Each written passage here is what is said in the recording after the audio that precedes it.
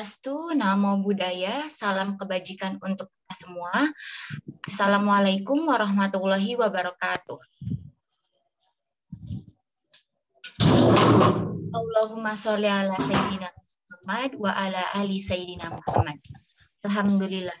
Wassalamu ala rasulillah wa la hawla wa la quwata illa billah amma ba'du. Selamat datang kembali teman-teman Kali ini kita ada di sesi ketiga di kajian filsafat sebagai way of life, filsuf teori kritis sebagai fly philosopher. Um, Pertama-tama, lupa kita panjatkan puji syukur atas kehadiran yang maha kuasa Allah Subhanahu wa taala yang telah melimpahkan nikmat serta karunia-Nya sehingga kita bisa hadir di kajian pada malam hari ini lupa juga solawat serta salam selalu kita haturkan kepada junjungan Nabi besar kita Nabi Muhammad Shallallahu Alaihi Wasallam beserta keluarganya yang dimuliakan yang telah membawa kita dari masa kegelapan menuju masa terang benderang. Yang terhormat Ketua Dewan Sura eh, yang terhormat eh, Ketua Pengurus Pusat Ijabi Ustadz Syamsuddin Baharudin yang kami hormati Dr. Muhammad Asyar sebagai pemantik kajian filsafat yang kami hormati seluruh koordinator IJABI di seluruh kawasan Nusantara yang kami banggakan semua teman-teman uh, para filosofer yang hadir di kajian ini. Um, sebelum kita memulai acara, mari kita haturkan surat Al-Fatihah dan solawat untuk Maha Guru kita almarhum Kiai Haji Jalaluddin Rahmat juga semoga uh, kita semua diberkahi kesehatan oleh Allah Subhanahu wa taala. Al-Fatihah ma'a salawat. Allahumma salli ala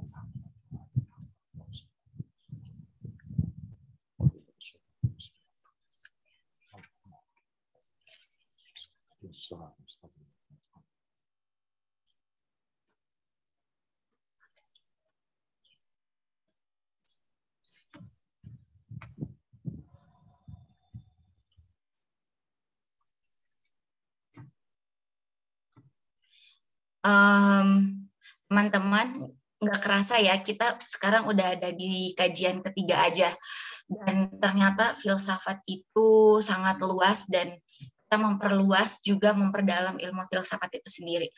Um, dari sesi pertama kita banyak belajar uh, sen, apa bahasan dari esensi filosofi as the way of life uh, yang mana filosofi itu sendiri adalah bicara tentang kebijaksanaan.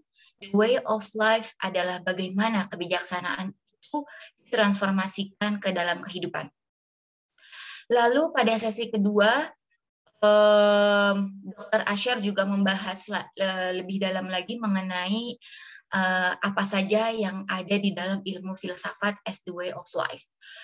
Dalam kajian kedua, beliau memaparkan spesifikasi tentang eksperimen filsafat terhadap anak-anak usia 8 sampai 10 tahun dan juga usia remaja. Yang mana hasilnya menunjukkan perkembangan baik bahwa objek eksperimen mengalami peningkatan potensi diri uh, dalam ilmu eksak seperti saya, sains, matematika, dan cara pandang mereka terhadap sesuatu kemampuan mereka mengenali politik of log, uh, policy of logic, um, karakter berpikir analitis, dan juga bisa membedakan mana bukti dengan interpretasi terhadap bukti. Lalu dalam sesi kedua juga beliau uh, memaparkan tentang uh, filsafat itu bergabung perlu bergabung dengan uh, disiplin ilmu lainnya agar mudah dimengerti uh, dan sebetulnya filsafat itu sangat dekat sekali dengan nilai kehidupan sehari-hari. Uh, filsafat cabang ontologi, filsafat uh, sosiofilosofis, dan juga filsafat sains. Nah, di sesi ketiga kali ini tuh episodenya feminis sebagai godlike philosopher mengulik angka senyap perempuan dalam filsafat. Nah, uh, kayaknya kita udah penasaran banget, Dr. Asyar. Eh, kami persilahkan kepada Dr. Asyar untuk memaparkan materinya dalam waktu 45 menit, Dok.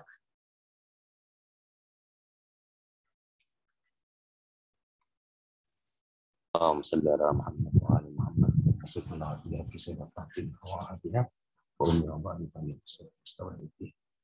baik, eh, para permisi sekalian, teman-teman yang saya hormati, para ustadz yang saya muliakan, pada kesempatan ini kita, saya akan mencoba untuk uh, mengangkat sebuah isu yang mungkin masih sangat jarang diangkat, uh, mungkin sekaitan dengan persoalan-persoalan kontroversial di dalamnya atau paling tidak uh, adalah sebuah upaya investigatif memuat bahwa filsafat tidak begitu akrab dengan perempuan. Atau pada tingkat tertentu bagi kalangan feminis yang sangat radikal menganggap uh, filsafat merupakan uh, salah satu sistem pengetahuan yang telah dalam sepanjang sejarahnya telah berperan dalam uh, mendegradasi kehidupan uh, perempuan. Uh, sifat kekontroversialan ini pada dasarnya menyebabkan wacana tentang perempuan dan filsafat itu menjadi kurang begitu diangkat ke permukaan. Yang kedua, seperti yang saya yang tema yang kita bahas kali ini, bahwa sesungguhnya secara paradigmatik feminisme itu termasuk bagian dari teori kritis. Seperti yang saya kemukakan uh, minggu lalu, bahwa sesungguhnya uh, cara pemikir kritis, teori kritis itu melihat realitas atau status ontologis sesuatu, itu pada dasarnya uh, melihat bahwa segala sesuatu yang terjadi, atau terutama realitas sosial, atau keadaan sosial kita sekarang pada dasarnya merupakan hasil pertarungan uh, dua kekuatan di mana sang pemenanglah yang kemudian menentukan apa yang benar, apa yang baik, dan apa yang seharusnya. Ini pula lah juga yang mendasari uh, filosofi dasar atau fondasi filosofis dari uh, kalau apa yang kita namakan dengan sistem berpikir feminisme itu. Jadi feminisme hampir sama juga, selalu mencurigai realitas, apa apa pun eh, realitas itu kita lihat, terutama realitas sosial, sistem sosial, kelembagaan sosial, dan apa pun namanya, pada dasarnya merupakan hasil konstruksi dari kelompok yang pada dasarnya tidak begitu akrab dengan eh, para eh, perjuangan para perempuan.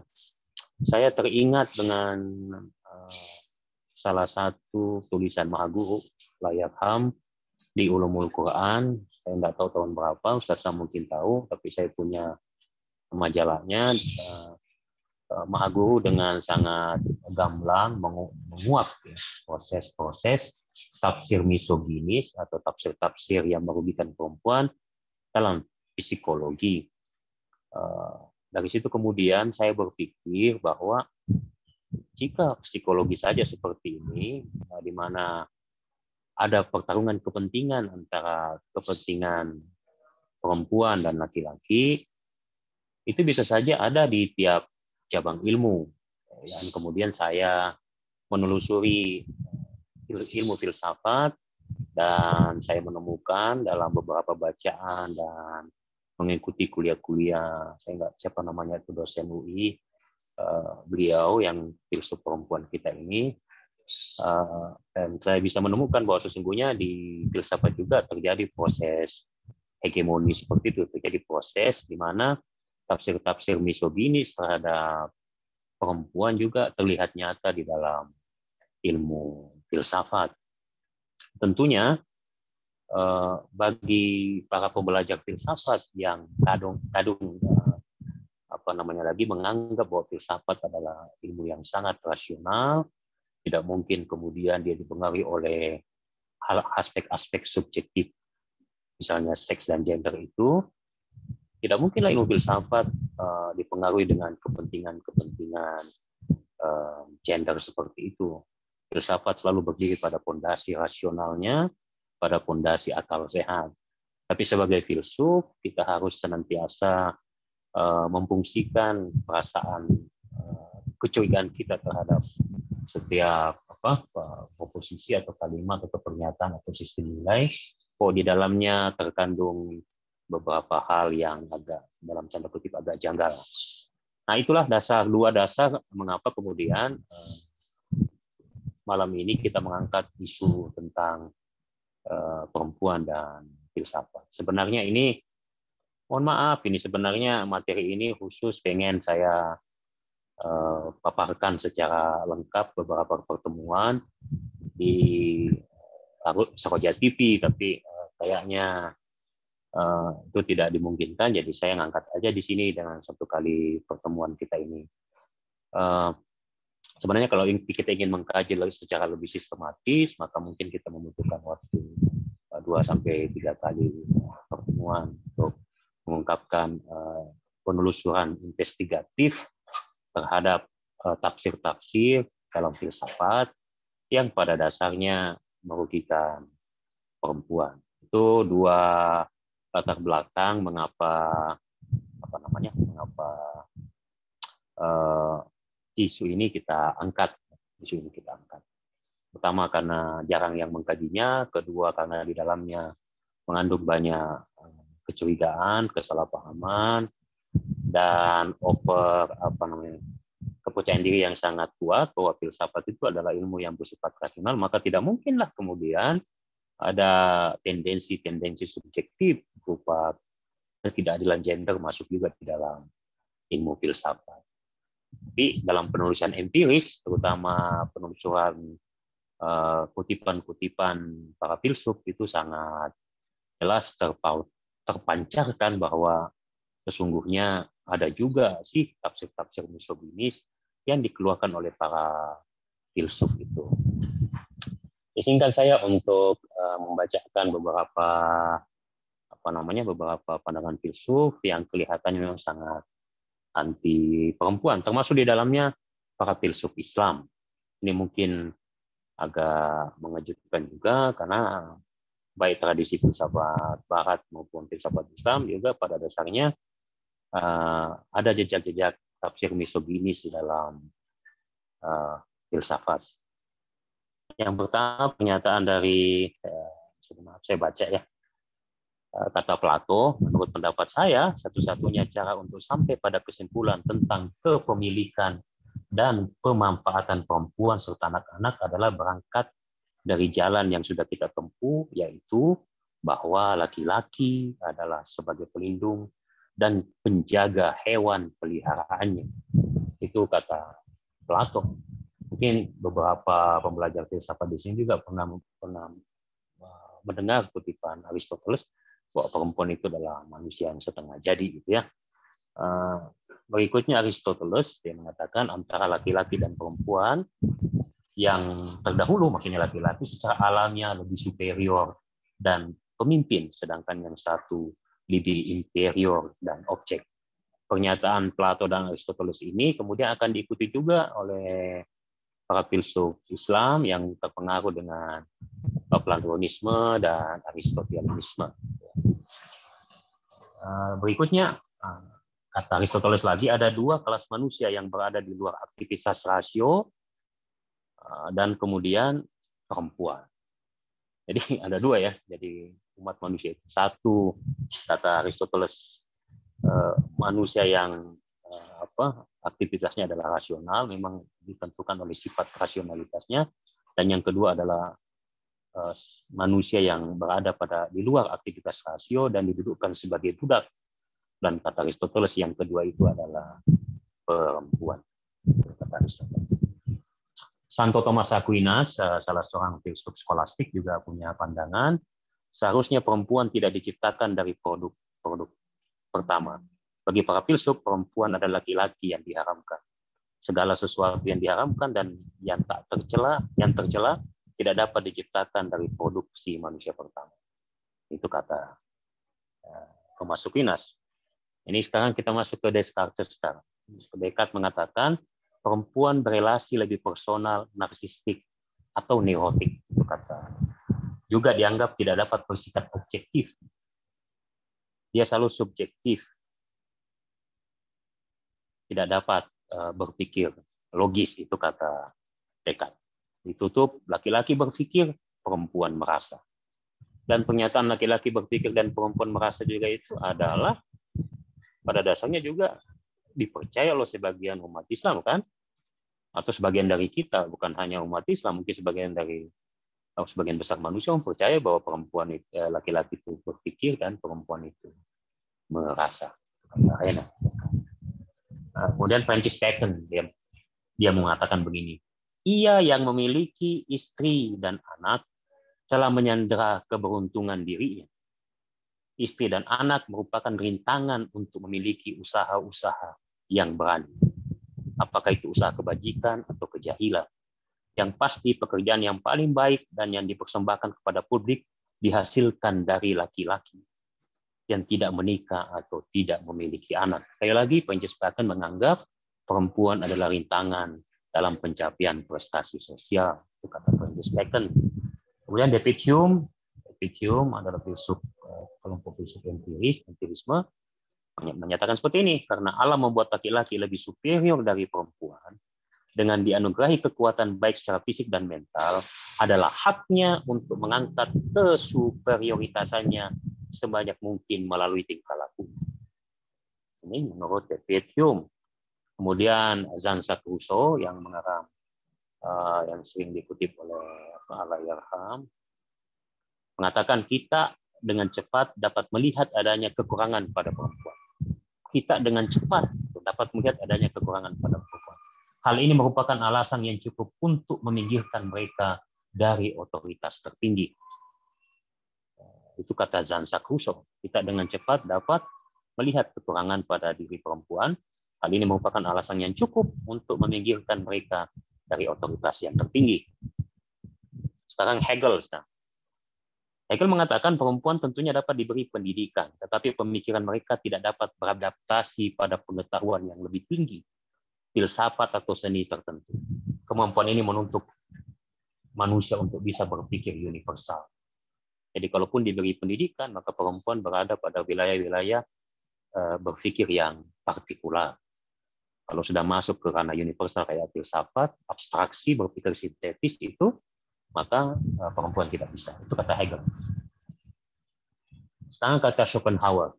Schopenhauer mengatakan perempuan lebih cocok menjadi perawat dan pengajar anak-anak karena mereka pada dasarnya adalah anak-anak. Mempunyai pandangan sempit, singkat kata, mereka selama hidupnya adalah anak-anak yang berbadan besar. Itu kata Schopenhauer dalam bukunya On Woman. Jadi pada dasarnya eh, hakikat perempuan itu adalah anak-anak yang berbadan besar jadi jiwanya masih kekanak-kanakan. Nah, ini sekarang Friedrich Nietzsche. Kata Nietzsche, kalau kau pergi kepada perempuan, jangan lupa bawa cambukmu. Kata Friedrich Nietzsche. Kalau Anda pergi ke perempuan, jangan lupa bawa cambukmu.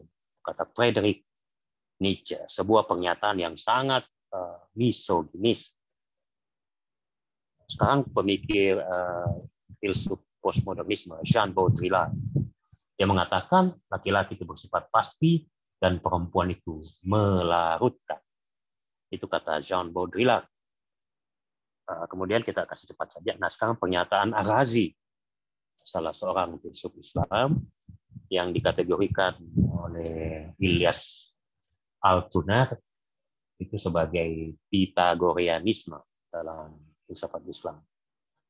Katanya bahwa perempuan pada dasarnya merupakan objek cinta dan hawa nafsu. Katanya gitu ya.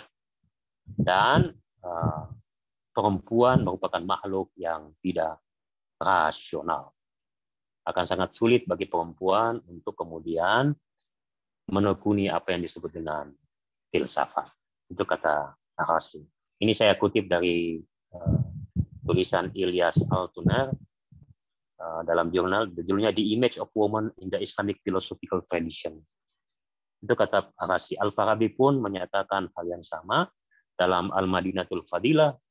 Uh, peran perempuan sama sekali tidak pernah bisa disebutkan pada posisi-posisi manusia suci itu. Uh, kata Al-Farabi, Al-Farabi tidak pernah secara eksplisit menjabarkan kedudukan perempuan yang bisa mencapai apa yang kita sebut dengan akal aktif dan sebagainya. Tidak ada secara eksplisit penjabarannya. Itu kata, kemudian kita masuk ke Ibnu Sina. Tapi itu sama aja bahwa perempuan itu pada dasarnya secara esensial memiliki eh, apa namanya rasio yang lemah, akal yang lebih rendah dibanding eh, laki-laki.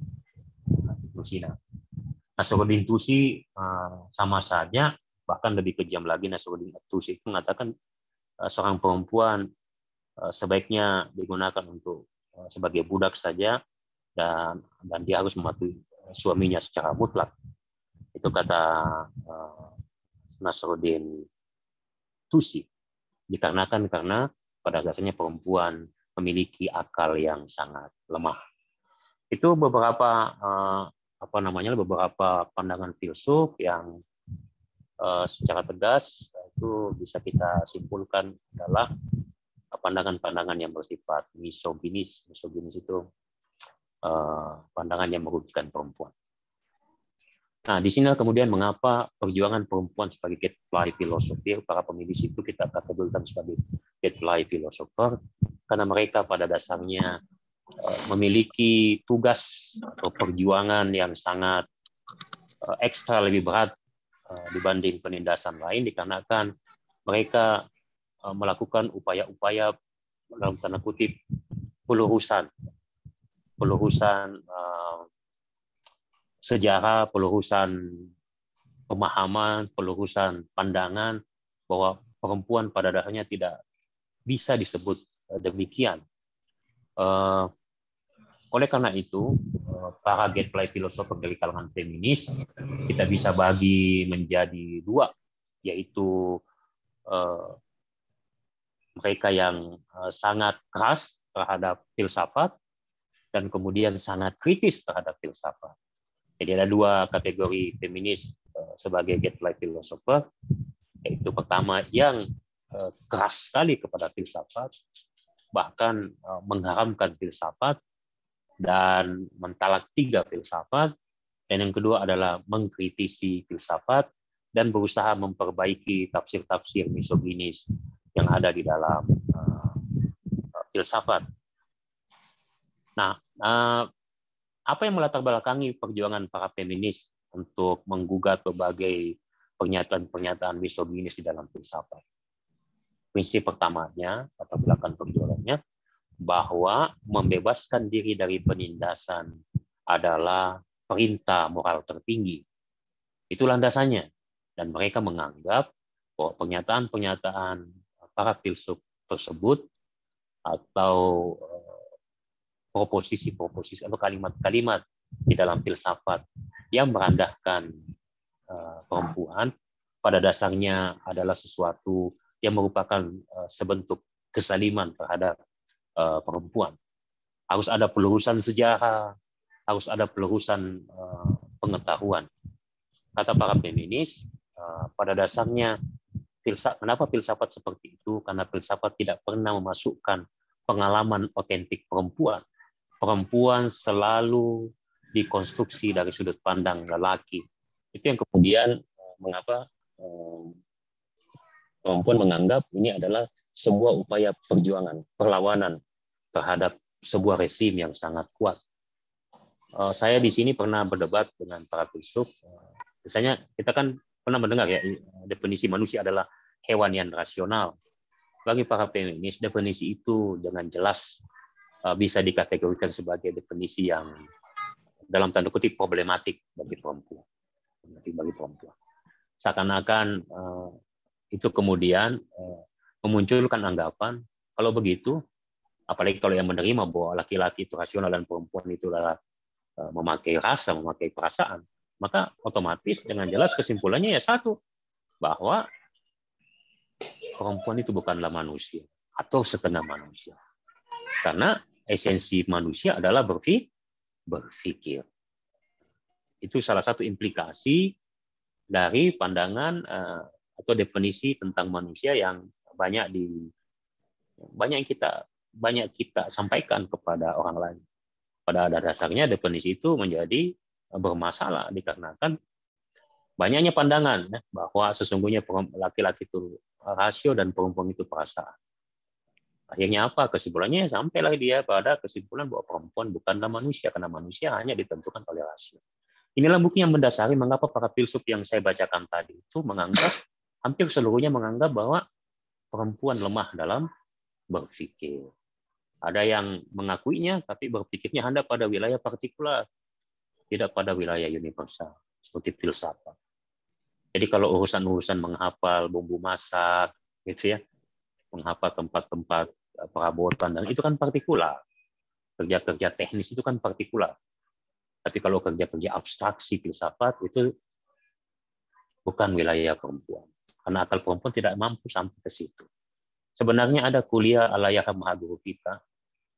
Saya tidak tahu apakah kuliah ini disampaikan sebelum uh, Alayaham banyak membawakan materi-materi tentang otak dan neurologi. Uh, dia menyampaikan pada satu penelitian ilmiah tentang uh, perkembangan otak di kalangan perempuan dan laki-laki. Mungkin bisa dicari lagi rekamannya itu. Dan pada awalnya teori otak eh, menegaskan bahwa perempuan itu memiliki otak yang lebih kecil, yang lebih besar. Terus penelitian berikutnya ditemukan kesalahan ternyata sama aja. Otak perempuan jauh lebih besar. Tapi kemudian laki-laki menyatakan lagi bahwa karena besar maka dia tidak terspesialisasi. Jadi penelitian otak pun itu diarahkan sangat misoginis. Bahkan penelitian empiris pun sebenarnya pada dasarnya jauh eh, pada tingkat itu konteks itu adalah bersifat sangat subjektif. Nah, itu yang pertama yang mendasarinya.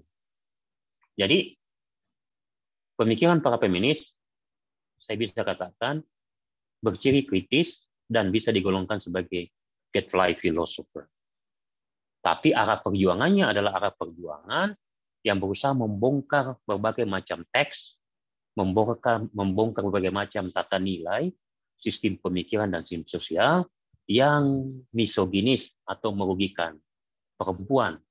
Itu objek perjuangan para feminis, meluruskan berbagai cara pandang, meluruskan berbagai konfigurasi epistemologis eh, yang terdapat pada tiap-tiap ilmu yang bisa diteliti di tiap-tiap ilmu bahwa ini misoginis dan berusaha meluruskan bahwa itu tidaklah benar.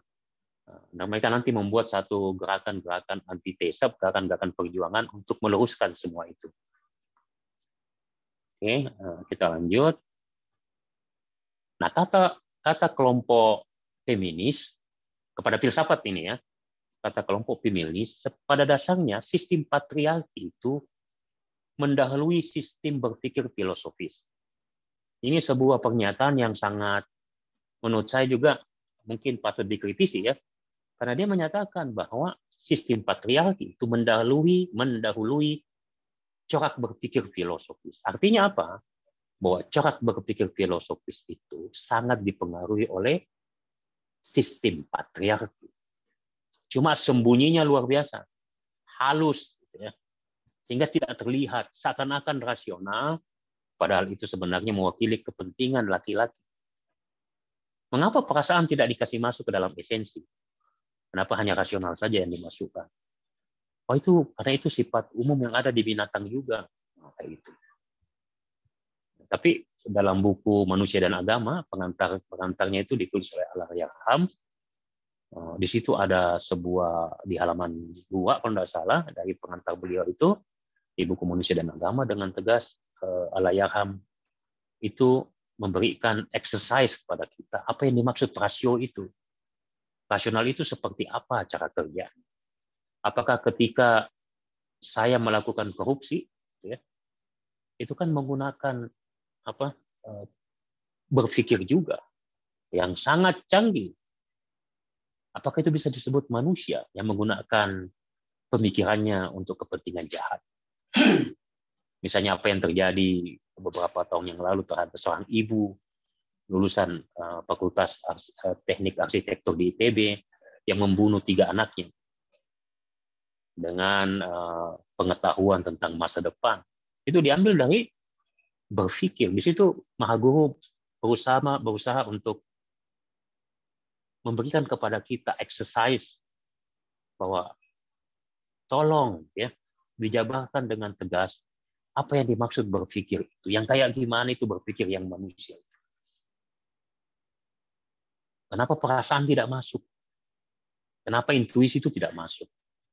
Bahkan uh, Suhrawardi Al-Maktul, Polisa Siru, itu dengan tegas menolak definisi manusia adalah hewan yang berpikir. Dia menyatakan uh, definisi itu definisi hewan manusia adalah hewan yang berpikir menyalahi kodrat manusia fitrah manusia. Yaitu apa? Ibadah. Beribadah adalah bagian dari esensi yang tidak bisa dilepaskan dari diri manusia. Menegaskan bahwa cuma rahasia menjadi esensi manusia itu bagian daripada uh, sesuatu yang mencirikan apa yang kita sebut kalau bahasa sekarang itu dehumanisasi. Mendehumanisasi manusia. Nah, itu sebenarnya. Jadi sistem berpikir patriarki itu mendahului sistem berpikir filosofis. Feminis ingin mengatakan bahwa sesungguhnya kita harus mencurigai beberapa teks. Jangan sampai teks itu memang diproduksi da, uh, diproduksi oleh dalam tanda kutip politik kepentingan laki-laki. Tentu saja tidak semua ya, tentu saja tidak semua. Perintah-perintah moral itu tentu saja non gender. Perintah-perintah moral. Kebaikan-kebaikan di universal itu non gender.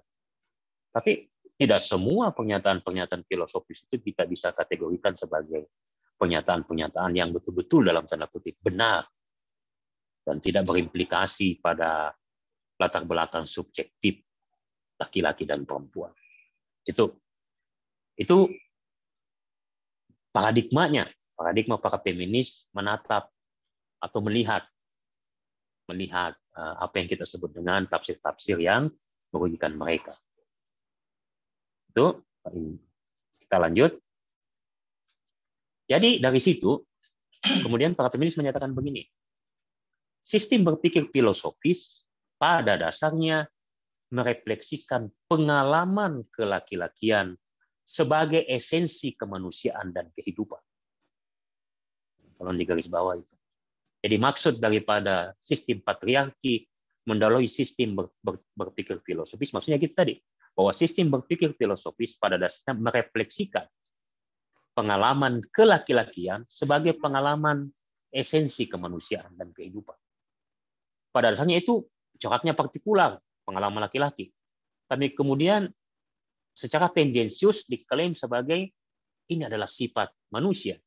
Sehingga yang tidak memenuhi karakter kelaki-lakian maka tidak disebut manusia mengalami degradasi mengalami degradasi kemanusiaannya. Para filsuf yang tadi yang sangat ya, terkenal itu sangat jarang memasukkan pengalaman hidup perempuan, pengalaman otentik perempuan di dalam basis berpikir filosofis mereka.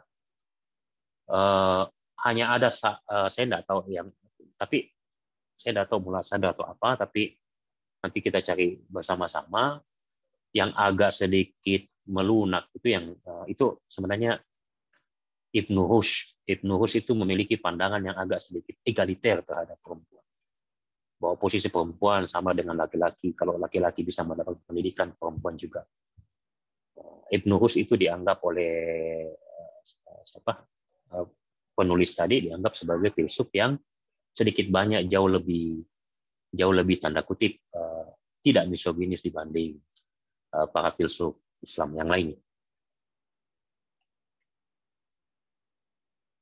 Oke, kita nah sebelum kita mengakhiri uh, pembahasan kita, waktu saya tinggal berapa menit moderator? Jangan sampai kayak minggu lalu satu jam. 16 menit lagi, Dokter Oke. Oke, kita lanjut. Nah, bagaimana metode apa yang harus kita lakukan?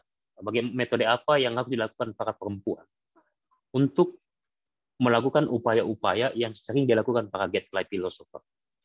Kita tadi sudah melihat uh, melihat problem, uh, melihat masalah utama pada teks, pada tafsir dan sebagainya. Nah, apa yang dilakukan oleh perempuan? Metode apa yang tepat untuk dilakukan untuk membongkar seluruh uh, dalam tanda kutip penindasan epistemologis seperti ini. Apa yang harus dilakukan? Nah, yang paling pertama eh, kata sebagian metode satu metode ini ya, misalnya kita melakukan metode dekonstruksi. Metode dekonstruksi secara, secara sederhananya adalah upaya membongkar seluruh teks, ya teks-teks yang misalnya kenapa sih Aristoteles bilang seperti itu, kenapa Nietzsche bilang seperti itu, uh, Alayarham, uh, maha guru kita tercinta, Buddha Siru, ketika menjabarkan tentang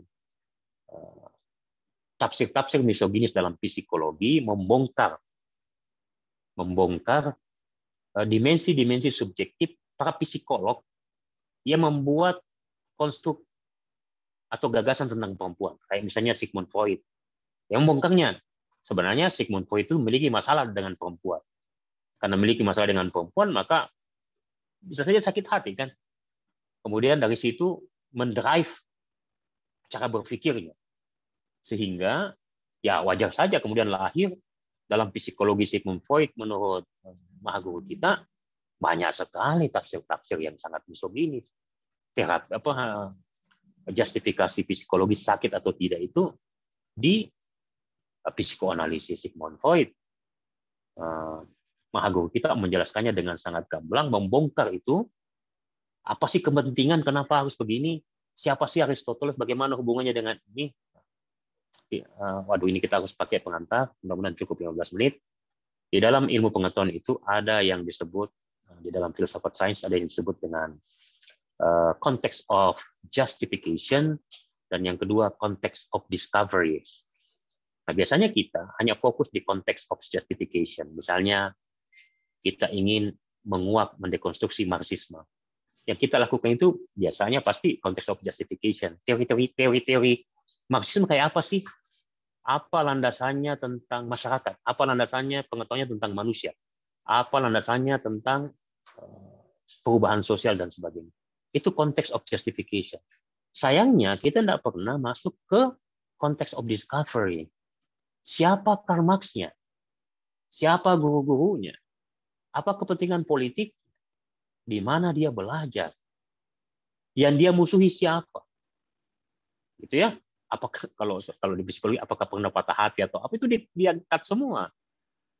Sehingga kemudian tendensi universal dari pernyataan ilmiah itu bisa digugat hanya dengan cara menerobos siapa sang pengarang itu. Nah itu, karena godaan terbesar bagi para ilmuwan adalah ingin supaya teorinya itu dianggap berlaku universal. Padahal sesungguhnya itu mewakili pengalaman subjektif saja. Tapi dipaksa menjadi universal. Apalagi ada eh, kepentingan politik besar di belakangnya yang bisa mengambil keuntungan dari ketika paham itu di disebarkan ke masyarakat, disosialisasikan ke masyarakat. Itu namanya metode dekonstruksi. Jadi kita bongkar siapa. Kenapa David Hume bilang begitu?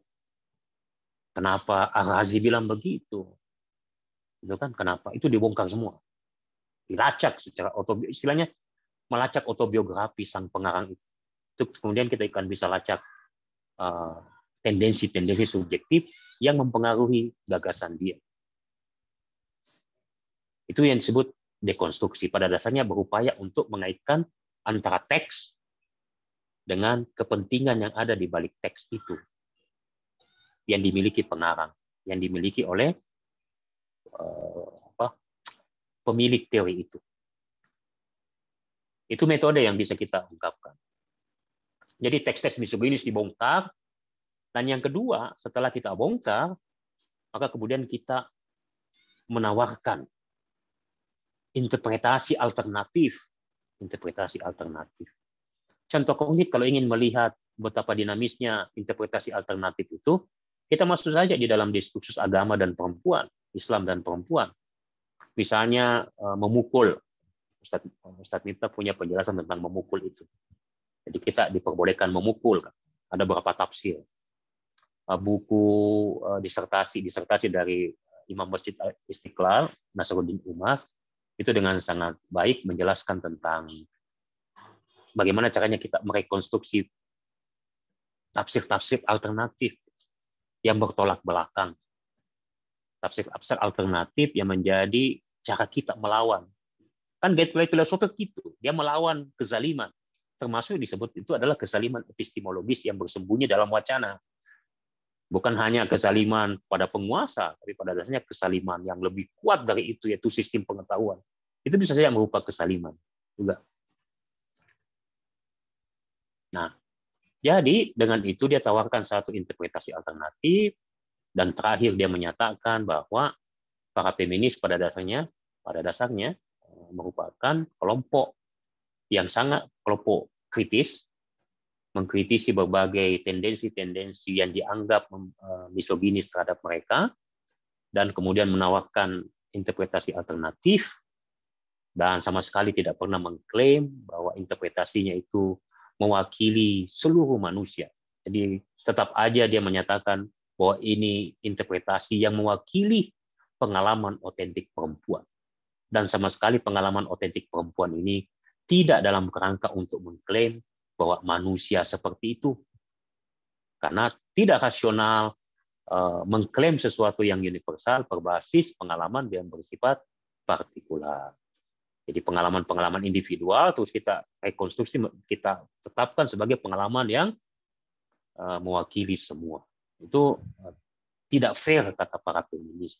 Makanya para feminis itu mengakui kebenaran yang plural. Kebenaran yang plural. Nah, eh, apa yang dilakukan feminis ini sebenarnya itu merupakan cerminan dari, kalau saya, itu cerminan dari gerakan pembebasan kaum mustadafin. Uh, Murtada Mutahari membagi dua mustadafin itu. Ada mustadafin dalam harta, dalam kepemilikan harta, dan ada mustadafin fikrian, dalam berpikir. Bisa jadi dalam berpikir itu pikirannya di di, eh, di apa dipaksa untuk mempercayai sesuatu yang tidak benar gitu ya, tentang perempuan misalnya. Nah, itu adalah gerakan feminis sebagai right philosopher merupakan cerminan pembelaan terhadap kaum muslimin. Ya, karena yang paling banyak dirugikan dari ini semua adalah kaum perempuan. Uh, saya pikir itu saja uh, uh, pernyataan saya. Semoga bisa memantik diskusi yang lebih intens, lebih dalam. Tentu saja saya secara pribadi menginginkan adanya bantahan yang sifatnya sangat mendalam juga.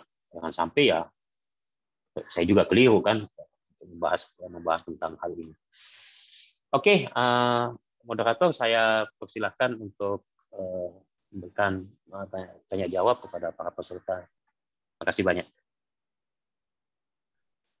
Dokter Asyar, um, masih ada sampai 19.40 kalau misalnya ada eh, poin-poin yang ingin dipaparkan lagi bisa sebelum kita masuk ke sesi tanya jawab. Lagi berapa menit, Mbak? Um, 4, 10 menit. Oh, 10 menit. Ya. Oke, okay, uh, eh, uh, pada dasarnya ini saya mulai dari pernyataan Simon Simon de Beauvoir uh, dalam tanda kutip hmm, teman ya teman gitulah uh, dari uh, salah seorang filsuf eksistensialis Jean Paul Sartre dia mengatakan begini paling paling utama dalam sebuah gerakan perempuan yang harus terinternalisasi maksudnya harus dihayati oleh perempuan bahwa perempuan itu seharusnya uh, dilihat dan melihat dirinya sebagai subjek, jangan lagi melihat dirinya sebagai objek. Dan kemudian kritislah terhadap berbagai macam uh, sistem pengetahuan, sistem sosial, yang kemudian kelihatannya mengandung benih-benih uh, atau pernyataan-pernyataan yang dalam tanda kutip merugikan eksistensi perempuan. Karena uh, skala kerusakannya jauh lebih kuat ya. Karena pertama-tama tidak ada pernyataan-pernyataan tentang relasi gender atau relasi antar apa pun yang jauh lebih mengakar dan lama penindasannya kecuali penindasan terhadap perempuan. Rasulullah diturunkan ke muka bumi, pada dasarnya diutus, pada dasarnya salah satu tugas utamanya adalah pembebasan kepada kaum mustabin, terutama pada kaum perempuan. Rasulullah mengangkat harkat dan martabat perempuan sangat tinggi. Dalam Islam, kalau dalam uh, disertasi Pak Nasruddin Umar, hanya di dalam Islam lah kemudian uh, pandangan tentang dosa bawaan yang dilakukan Hawa terhadap Siti Hawa alaihissalam dengan menggoda Adam tidak ditemukan sama sekali. Uh, di dalam kitab dalam kitab kejadian misalnya itu ada dengan tegas. Bahkan Prof. Nasruddin Umar meyakini bahwa hadis tentang tulan rusuk itu sama sekali bukanlah hadis yang bersumber dari Islam. Eh, kalau tidak dia menyebutnya sebagai hadis-hadis Israeliat. Nah, kita juga lihat beberapa figur sentral dalam perjuangan perjuangan kaum perempuan. Saya terus terang saja sangat penasaran dengan pernyataan Mahaguru kita semua layak ham yang menyatakan bahwa dalam enam tipologi eh, filsuf itu yaitu kuriosa bahwa perempuan hanya ada di level kuriosa. Maksudnya level-level filsafat yang bersifat partikular. Tidak ada pernah dunia melahirkan seorang filsuf perempuan yang memiliki ragam isu dan karya dalam filsafat. Sehingga kita bisa dudukkan perempuan tersebut selevel dengan Aristoteles yang punya karya mulai dari metafisika sampai fisika itu uh, levelnya juga uh, misalnya Al-Farabi, Ibnu Sina dan sebagainya. Rata-rata uh, menurut Mahaguru sendiri bahwa perempuan ketika Mahaguru mendudukkan perempuan di level kuriosa, pada dasarnya Mahaguru ingin menyatakan bahwa perempuan kalaupun ada filsuf perempuan maka levelnya hanya di kuriosa. Jadi filsuf-filsuf yang hanya mengkaji hal-hal yang partikular, hal yang uh, kecil ya. Misalnya filsafat keluarga dan sebagainya kayak gitu-gitu. Dia bukan bukan sesuatu yang bersifat uh, metafisika, ontologi, aksiologi dan sebagainya terangkum dalam satu sistem filsafat. Nggak ada perempuan yang pernah melahirkan sistem filsafat. Coba Platonisme Plato lah uh, masyain uh, paripatetik ya Aristoteles. Itu kan hikmah mutalia mula sadra. Israkia apa Surawardi al maktul tak pernah ada tokoh perempuan yang melahirkan sebuah sistem filsafat yang utuh yang meliputi karya-karya baik filsafat tinggi, menengah, dan rendah, filsafat teoritis dan praktis, seterusnya. Tidak pernah paling paling hanya ada pada fokus pada hal-hal yang sifatnya sangat partikular. Nah, ini adalah eh, sesungguhnya ini adalah eh, cambuk bagi kita semua dalam kewajiban berpengetahuan untuk mencari. Siapa tahu dalam sejarah ya, siapa tahu ada filsuf perempuan yang bisa digolongkan sebagai filsuf sistemik. Filsuf sistemik itu adalah filsuf yang karyanya itu meliputi semua isu filsafat jadi satu kesatuan isu filsafat. Ontologi, epistemologi, aksiologi satu kesatuan. Uh, ada satu buku sih, uh, The History of Woman Philosopher. Itu sampai empat jilid. Uh, itu mungkin bisa di, dibaca, bisa dicari kok di Google juga sudah ada PDF-nya. The History of Woman Philosopher. Itu mulai dari uh, sebelum Masehi sampai di kehidupan kontemporer sekarang empat empat cilik uh, ada juga tulisan-tulisan tentang para filsuf perempuan di dalam Islam.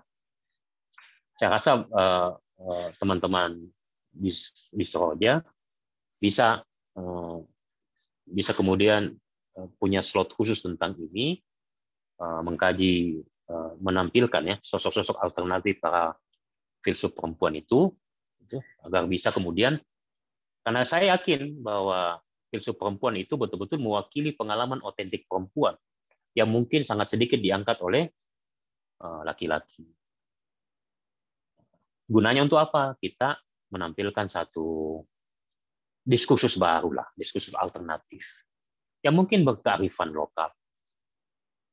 uh, mungkin nanti saya usulkan uh, kalau bisa seperti ada lembaga filsafat jadi bentuk uh, nanti kita bisa uh, mengusulkan salah, satu uh, kita bikin praktikum ada laboratorium filsafat lah misalnya kita pergi ke masyarakat Badui kemudian kita melihat perang perempuan di dalamnya kemudian dari situ kita melakukan penelitian khusus dan mudah-mudahan saja kita bisa menampilkan satu corak filosofis kedudukan perempuan dan fungsi perempuan dalam masyarakat Baduy. Itu misalnya kalau kita ingin melakukan proses eksperimentasi filsafat. Ini hanya usulan saja. Saya bisa uh, saya bisa sedikit membantu dengan menjadi mitra kalau misalnya pengen gitu. kalau tidak ya tidak masalah. Saya pikir itu aja, uh, moderator. Mudah-mudahan cukup penjelasannya. Terima kasih banyak. Baik, terima kasih banyak kepada Dr. Asyar atas pemaparannya dari ilmu yang benar-benar mungkin kita jarang untuk mendengarnya. Uh, kita sudah beralih ke sesi tanya jawab. Terima kasih banyak juga ke teman-teman yang ada di sini atas antusiasnya dan masih setia untuk hadir di kajian filsafat. Um, udah ada dua orang yang raise hand. Um, pertama kita akan mempersilahkan kepada Ibu Isti untuk uh, unmute dan menyampaikan pertanyaannya. Baik, terima kasih uh, Bapak Dr. Asar ya, menarik sekali memang saya baru kali ini juga mendengarkan secara jelas ya dan tegas uh, ternyata semua ya bukan mayoritas lagi. Jadi semua filosof itu memang berpikir uh, bahwa perempuan itu lemah dan rendah ya. Termasuk juga filosof uh, muslim ya. Nah uh, mungkin terkait dengan dekonstruksi tadi ya saya kira uh, para filosof ini kedudukannya sama dengan ahli fikih ya. Jadi ulama-ulama uh, fikih kita juga kan begitu ya. Mereka memandang rendah pada perempuan sehingga muncul pemahaman-pemahaman yang misoginis. Tetapi kalau ayat atau hadis yang misoginis ini saya tidak setuju eh, apa penyebutan ayat. Tapi kalau tafsir ya tafsir misoginis. Ya. Kalau hadis Betul. dan ayat itu eh, hanya apa namanya seperti misoginis tapi sebetulnya tidak gitu. Jadi ya. eh, saya kira kalau yang kalau misalnya dekonstruksi syariah itu yang di apa namanya siapa eh, Nasr Hamid ya kalau ya. nggak salah Uh, itu kan di kalau syariah kalau fikih itu kan dijadikan hukum ya. Ketika dilakukan dekonstruksi ya pendapat lama para ulama yang misoginis ini tidak dipakai. Jadi kita menggunakan yang baru. Uh, kalau misalnya terkait dengan tafsir atau hadis itu kan kita bisa mencari uh, apa namanya perbandingannya dari hadis lain. Ternyata misalnya Nabi kenapa melarang perempuan keluar rumah itu ternyata di suatu waktu juga banyak perempuan yang keluar rumah di dalam itu juga diterangkan dalam hadis. Tapi kalau filsafat ini saya kira ya kalau kita melakukan dekonstruksi itu hanya kantor narasi saja bahwa perempuan tidak demikian, tetapi pendapat uh, filosofi sama dengan pendapat ahli fikih, jadi ya akan tetap begitu gitu, tidak bisa dirubah gitu. Dan itu salah satu kemungkinannya karena memang realitas uh, masyarakat di masa lalu uh, perempuannya memang uh, kurang berkualitas gitu. Nah ini mungkin ada sejarahnya ya mengapa perempuan di masa lalu demikian. Tapi kalau yang saya lihat di di dalam Al-Quran tuh sesungguhnya kan ada yang namanya Ratu Balkis, kemudian ada yang namanya Siti Maryam. Nah ini saya juga kurang paham sejaman dengan para filosof yang mana uh, Ratu Balkis ini misalnya, kemudian uh, Siti Maryam karena kan itu di saya kurang paham ya itu di abad berapa gitu. Jadi uh, apa itu sampai gitu ke Yunani karena kalau kalau itu masa Nabi Sulaiman ya. Kalau uh, Aristoteles itu masa Nabi siapa kan karena kan itu sebelum Masehi ya. Mungkin itu saja yang ingin saya uh, kemukakan Pak Dr. Asar. Terima kasih sekali uh, sangat memberikan pencerahan kepada saya yang selama ini memang saya hanya pernah sedikit membaca sih tentang apa namanya filosof dari uh, Yunani Romawi Yunani ini memang uh, tapi memang baru kali ini secara lengkap ya ternyata sampai uh, ke apa namanya filosof barat yang ke agak ke sini, kemudian sampai Ibnu Sina dan lain sebagainya. Ini orang-orang semua yang saya kagumi, tapi ternyata pendapatnya tentang perempuan seperti itu. Terima kasih. Assalamualaikum warahmatullahi wabarakatuh. Waalaikumsalam. Uh, Waalaikumsalam. Iya, silakan Dokter Asyir langsung aja. Uh, ya, uh, kayaknya memang ini uh, hanya masukan. Uh, mungkin lebih tepatnya nanti kita bisa uh, membuat uh, apa, uh, apa namanya lagi ya kajian-kajian atau yang kemudian ingin menajamkan uh, topik ini. Karena topik ini sebenarnya sangat luas bu, uh, sangat luas dan kemungkinan besarnya juga menyentuh aspek-aspek logika interdisipliner sebenarnya. Tapi intinya faktanya memang terjadi proses misoginisme di dalam misoginisme dalam filsafat itu sudah sangat tegas. Persoalan fenomenanya ada. Pernyataan-pernyataan filsuf itu sudah sangat tegas menentukan bahwa memang mereka uh, terlihat misoginis cuma saya tidak ingin mengklaim bahwa semua filsuf uh, saya memerlukan uh, pembacaan lagi untuk mengklaim uh, semua filsuf ya tapi pada dasarnya filsuf-filsuf agung yang besar ini, yang besar-besar ini, ternyata pada tingkat tertentu sangat rasional, tapi bagi ketika menjabarkan tentang perempuan, eh, tolak ukur kelaki-lakiannya itu menjadi sangat dominan. Eh, ini tentu saja eh, merupakan pernyataan yang bagi bagi yang menyatakan bahwa filsafat itu rasional murni, pasti bermasalah pernyataan kita ini, pernyataan para pemilik ini karena para eh, pembela filsafat yang uh, seperti itu menganggap memang filsafat itu produk rasional murni. Ya, tidak ada kemudian produk filsafat itu kemudian muncul dari apa namanya lagi tendensi-tendensi subjektivitas itu tantangan kita yang pertama untuk membuktikan bahwa memang betul itu adalah mewakili tendensi tendensi subjektivitas kelaki-lakian. Oleh karena itu kita terapkanlah Eh, analisis uh, metode yang saya sebutkan salah satunya itu konteks of discovery dan konteks of justification itu dibedah gitu, supaya nampak. Uh, misalnya kenapa Hegel sangat membela menganggap bahwa pengejauhan pengejauhan tahan Tuhan dalam sejarah itu dalam bentuk kerajaan misalnya itu karena dia memang kata Mahaguru ini yang saya dapat dari kuliah Hegelnya bahwa dia memang orang tuanya itu bekerja pada kerajaan jadi wajar saja kepentingan subjektif itu ya, mempengaruhinya. Kenapa Albert Camus, misalnya salah seorang filsuf eksistensialis, itu dalam filsafat-filsafatnya menawarkan pernyataan-pernyataan pernyataan-pernyataan nihilis ya, eh, bahwa yang kebaikan tertinggi adalah bunuh diri misalnya. Karena ternyata dalam konteks obes nya Albert Camus itu mengidap penyakit TBC yang tidak bisa disembuhkan.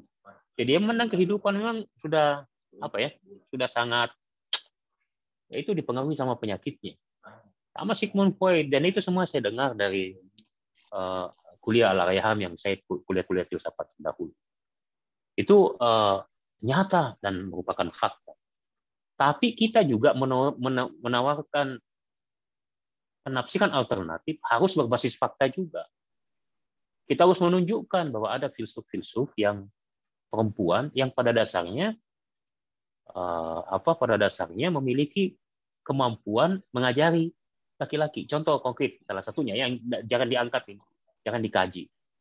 Saya tidak tahu apakah itu disebut Mahaguru ketika menjabarkan tentang para filsuf perempuan tadi, yaitu Aspasia. Aspasia itu merupakan filsuf perempuan di mana Socrates berguru kepada dia. Aspasia namanya. Ini kan siapa Aspasia, apa gagasan film, enggak, enggak, enggak pernah kita angkat. Ya, ironisnya para uh, perempuan yang menggemari filsafat, saya tidak menyatakan di luar, di sini misalnya pengalaman subjektif saya di sini, ya lebih banyak menggandungi eh, gagasan-gagasan filosofis dari para filsuf laki-laki yang notabene ketika ditelusuri itu memiliki pandangan yang misoginis terhadap perempuan. Itu Aspasia siapa? Kita tidak tahu. Aspasia itu siapa? Kita nggak tahu. Padahal itu merupakan eh, tempat Socrates menimba ilmu.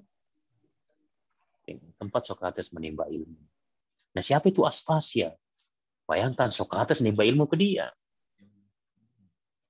Jangan-jangan orakel itu ya Aspasia itu. Nah, itu misalnya contoh. Jadi, pengalaman kita ingin menunjukkan secara fenomenologi fenomena fenomenologis menunjukkan bahwa secara historis ada jejak-jejak para filsuf perempuan yang agung gitu yang sebenarnya mungkin saja ditutupi sama aja kan ketika kita uh, berbicara tentang peradaban Islam kok para matematikawan awal dari Islam itu kok ditutupi? Nggak ada dalam uh, apa nggak ada dalam uh, sejarah uh, apa matematika ketika diajarkan di SMA misalnya. Kok, kok ditutupi? Kenapa? Itu kan? Ada juga kepentingan di situ. Kenapa itu ditutupi? Jadi tidak dielaborasi. Kita pun uh, sebagai perempuan maksudnya eh, kita berarti saya dong gitu ya. Semua sebagai yang yang itu tidak mengangkat itu. Maksud saya ya cobalah untuk melakukan upaya investigasi tentang filsuf jadi apa yang kita nyatakan itu ada jejak eh, dalam fenomena sehingga kita bisa kategorikan ini pernyataan ilmiah karena berbasis fakta itu itu kerjaan-kerjaan yang terberat jadi harus ada analisis historis harus ada pembongkaran dalam uh, sistem berpikirnya dan sebagainya. Nah itu ada metodenya. Kan ini cuma satu kali pertemuan, tidak mungkin kita bongkar semua metode itu. Mungkin dibutuhkan satu, dua, tiga, empat pertemuan baru kita bisa lakukan langkah-langkah berikutnya, langkah-langkah kerja berikutnya. Saya pikir itu Bu eh, dari saya. Silahkan yang lain, Mbak, kalau ada.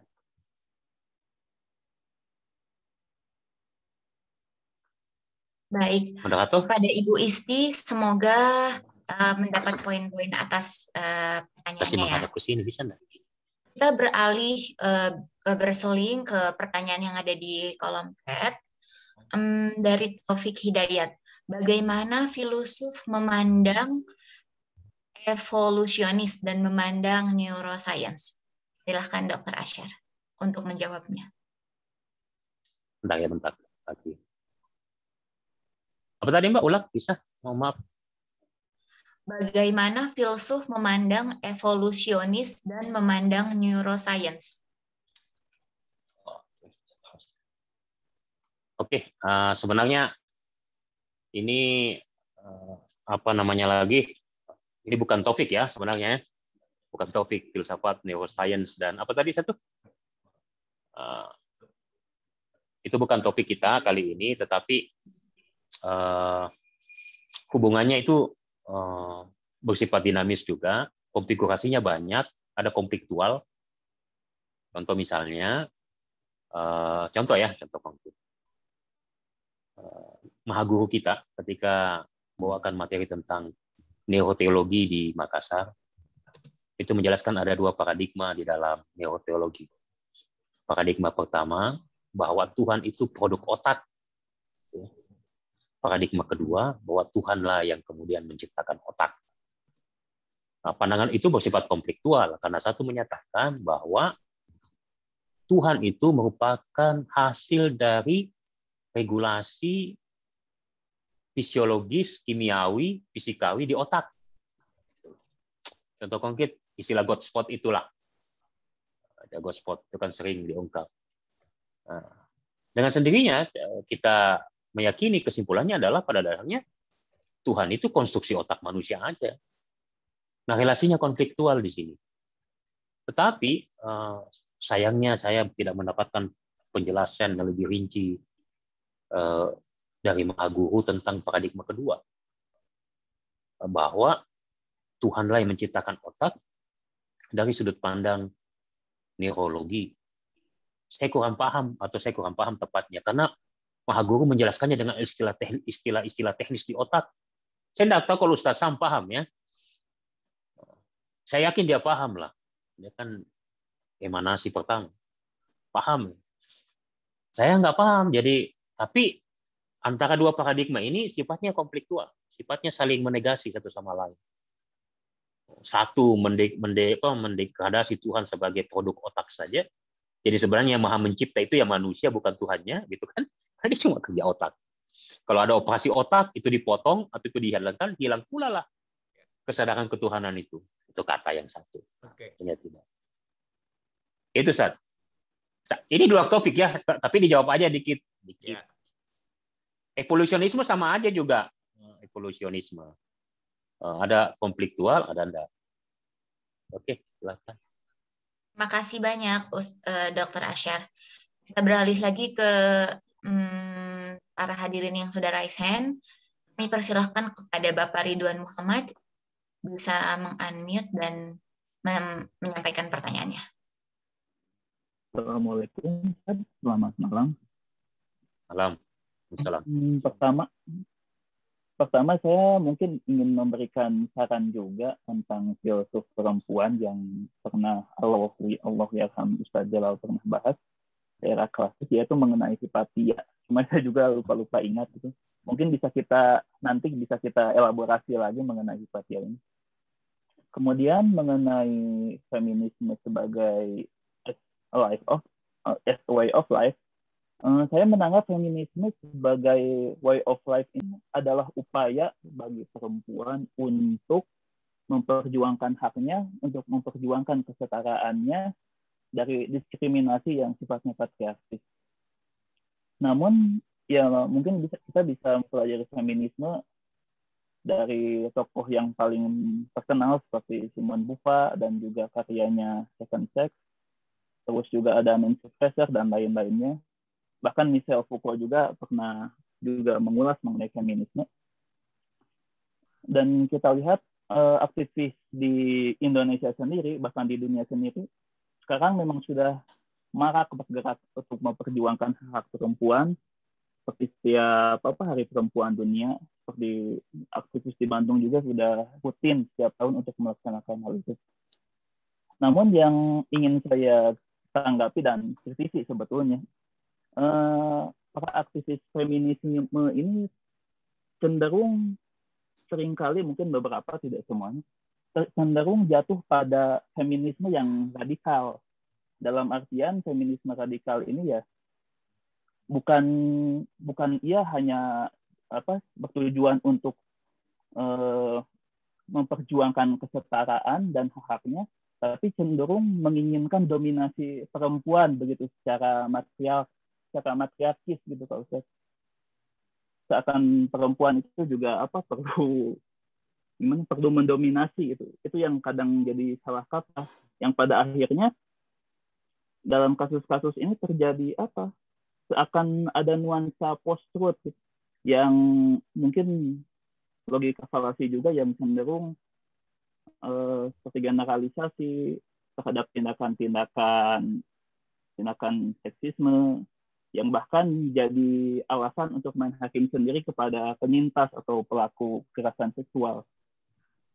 Nah kemudian yang juga marak di kalangan aktivis feminis ini juga budaya ini seperti yang kita mungkin bisa pernah dengar mengenai cancel culture. Cancel hmm. culture. Ya salah satunya seperti saya ya, yang contohnya yang saya temui sendiri adalah bahwa sering kali aktivis feminis ini meng, sangat mengutip Michel Foucault untuk menunjukkan argumen-argumen feminis. Tapi ketika mengetahui bahwa Michel Foucault ini juga sebagai penyintas, juga dia punya kasus apa melakukan kekerasan seksual, sering kali ya. malah diabaikan. Nah, malah dibuang begitu saja. Hal ini kadang menurut saya jadi terkesan kontraproduktif gitu. Uh, itu aja Ustaz. Mohon tanggapannya. Terima kasih. Uh, langsung aja, Mbak ya. Oke. Okay, uh, iya, Dr. Asher. Uh, di dalam batang tubuh feminisme sebagai sebuah ilmu, itu sebenarnya perseteruan juga ada di kalangan mereka itu. Pertentangan di kalangan mereka juga ada. Kalau mau menyederhanakannya dalam diskursus uh, saintifik ya, maka ada dua aja yang bertentangan di dalam batang tubuh feminisme. Pertama, feminisme yang uh, otoritarian yang sama aja dengan dia mengkritisi, mengkritisi tafsir misoginis laki-laki, tapi pada saat yang sama dia melakukan metode serupa. Misalnya, pengalaman perempuan barat hendak dijadikan sebagai pengalaman seluruh perempuan. Jadi ada tendensi uh, otoritarianisme di dalamnya yang ingin uh, melegalkan bahwa pengalaman-pengalaman khusus perempuan barat, perempuan kulit putih itu hendak dijadikan sebagai pengalaman-pengalaman otentik seluruh perempuan. Sehingga perempuan-perempuan yang terbelakang harus mengikuti pengalaman-pengalaman perempuan-perempuan kulit putih. Nah, misalnya, contohnya ya banyak feminisme, feminisme feminisme gelombang pertama itu kayak misalnya feminisme liberal, feminisme radikal yang kita bilang tadi, feminisme marxis dan sebagainya. Uh, lainnya, pandangan lain itu adalah pandangan yang menyatakan bahwa kita tidak bisa kemudian menjadikan pengalaman otentik perempuan khusus, misalnya kulit putih itu, dijadikan kemudian sebagai pengalaman universal seluruh perempuan. Makanya saya berada pada posisi ini. Contoh misalnya perempuan eh, feminisme postkolonial. Feminisme postkolonial adalah feminisme-feminisme yang berusaha membongkar hegemoni feminisme-feminisme yang otoriter itu tadi. Feminisme-feminisme yang positivistik itu tadi. Namanya feminisme postkolonial. Tetapi menurut uh, Mahagu, kita Ustaz Jalal, tujuan semua dari mereka itu sama. Pada dasarnya, seluruh aliran feminisme di buku catatan Kanjalal itu dengan tegas Mahagu kita menyatakan bahwa seluruh tujuan feminisme sama yaitu ingin mengangkat harkat dan martabat perempuan.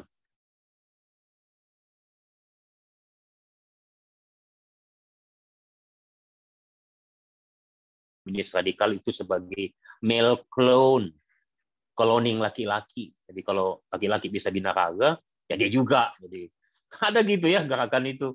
Jadi male clone. Dan fatal itu kesimpulan dari feminisme radikal itu karena menganggap persoalan utama ketertindasan perempuan itu laki-laki jenis kelamin. Itu kan bahaya itu. Karena kami yang jadi persoalan. Bukan sistem. Tapi kami secara biologis jadi persoalan. Bisa bedain ya. Kami sebagai biologis dan sistem patriarki. Kan gitu. Jadi kalau sistem patriarki tidak semua laki-laki menyepakati sistem patriarki. Tapi kalau kami secara biologis jadi problem, berarti semua laki-laki jadi problem. Mungkin saja mereka itu kemudian beramai-ramai, tidak ingin menikah gitu ya, mempraktekkan lesbianisme karena laki-laki adalah persoalan dan sebagainya. Itu salah satunya saja. Tapi bagi saya yang paling saya ikuti ya, itu feminisme postkolonial. Feminisme yang mengakui kemajemukan ekspresi perempuan dalam lokalitasnya masing-masing. Dan tidak boleh lokalitas itu kemudian dianggap sebagai watak perempuan secara umum, tidak boleh. Misalnya feminisme perempuan Sunda. Ya janganlah diterapkan sama feminisme perempuan Ambon. itu jauh sekali bedanya. Kan apalagi Papua. Jadi masing-masing lokalitas itu memiliki kearifan lokal masing-masing tentang kedudukan perempuan itu. Nah itulah yang harus diangkat dan dijadikan wacana-wacana alternatif. Jadi kita seperti bisa bisa oh kalau kalau apa? Kalau misalnya saya ingin ke timur, ingin tahu perempuan sana, saya baca aja buku-buku yang berbasis atas penelitian-penelitian perempuan itu. Jangan make mindset feminisme liberal terus datang ke masyarakat India yang patuh sama suaminya. Itu pasti mengatakan, wah ini tertindas ini, apalagi feminis radikal, kita pakai. Wah ini tertindas ini, patuh sama suami itu bahaya. Nah, oleh karena itu, feminis, feminisme postkolonial memberikan ruang sebesar-besarnya bagi banyaknya wacana tentang esensi perempuan. Esensi perempuan muslim. Esensi perempuan ini. Banyak. Karena dia mengakui ragam wacana. Dan ke seluruhnya benar berdasarkan pengalaman kearifan lokalnya masing-masing. Bagi saya itu yang pendekatan yang jauh lebih humanis. Karena pengalaman ketindasan perempuan. Meski sifatnya umum, tapi aksentuasinya lokal.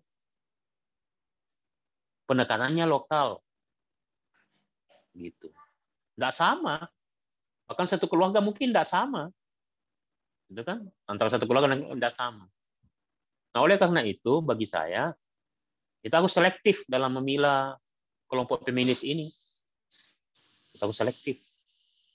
Dan kita harus membuat wacana alternatif untuk mewakili ini kita juga kalau kemudian perempuan India rela apa namanya rela tidak bekerja demi kepentingan keluarga, rela mengasuh anak, apa itu masalah? Apa itu masalah? Bahkan pada tingkat tertentu kadang apa apa namanya di dikerasi dalam tanda kutip ya. Apa itu masalah? Nah, gitu. Bagi saya itu eh, konteksnya. Jadi pilahlah banyak aliran feminisme, tapi kita harus mengambil yang pas dengan kehidupan kita, atau paling tidak kita menciptakan sendiri di feminisme. Eh, teman-teman yang kemudian berfokus pada wacana-wacana ini sedapat mungkin bisa meningkatkan aktivismenya ke dalam penelitian-penelitian ilmiah berbasis lokal. Kalau saya, misalnya Seroja bisa bisa membuat mungkin proyek untuk uh, esensi perempuan Sunda gitu. Siapa tahu ya, penelitian ilmiah. Saya yakin di Bandung itu banyak orang-orang yang hebat secara metodologi. Oke, makasih Mbak. Makasih Pak. Terima kasih banyak Dokter Asyar atas jawabannya. Kita beralih ke pertanyaan yang ada di Zoom chat. Di dalam teks-teks agama, banyak perintah atau representasi yang sepertinya ditujukan kepada laki-laki saja, setidaknya ketika menggunakan kata ganti. Bahkan Tuhan kadang menggunakan laki-laki sebagai kata ganti dirinya. Apakah ini penanda laki-laki mendominasi agama dan filsafat? Mengapa demikian? Apa latar belakangnya? Mohon penjelasan. Silahkan Dokter Asher. Kalau kata ganti kata ganti mah saya serahkan sama ketua PP.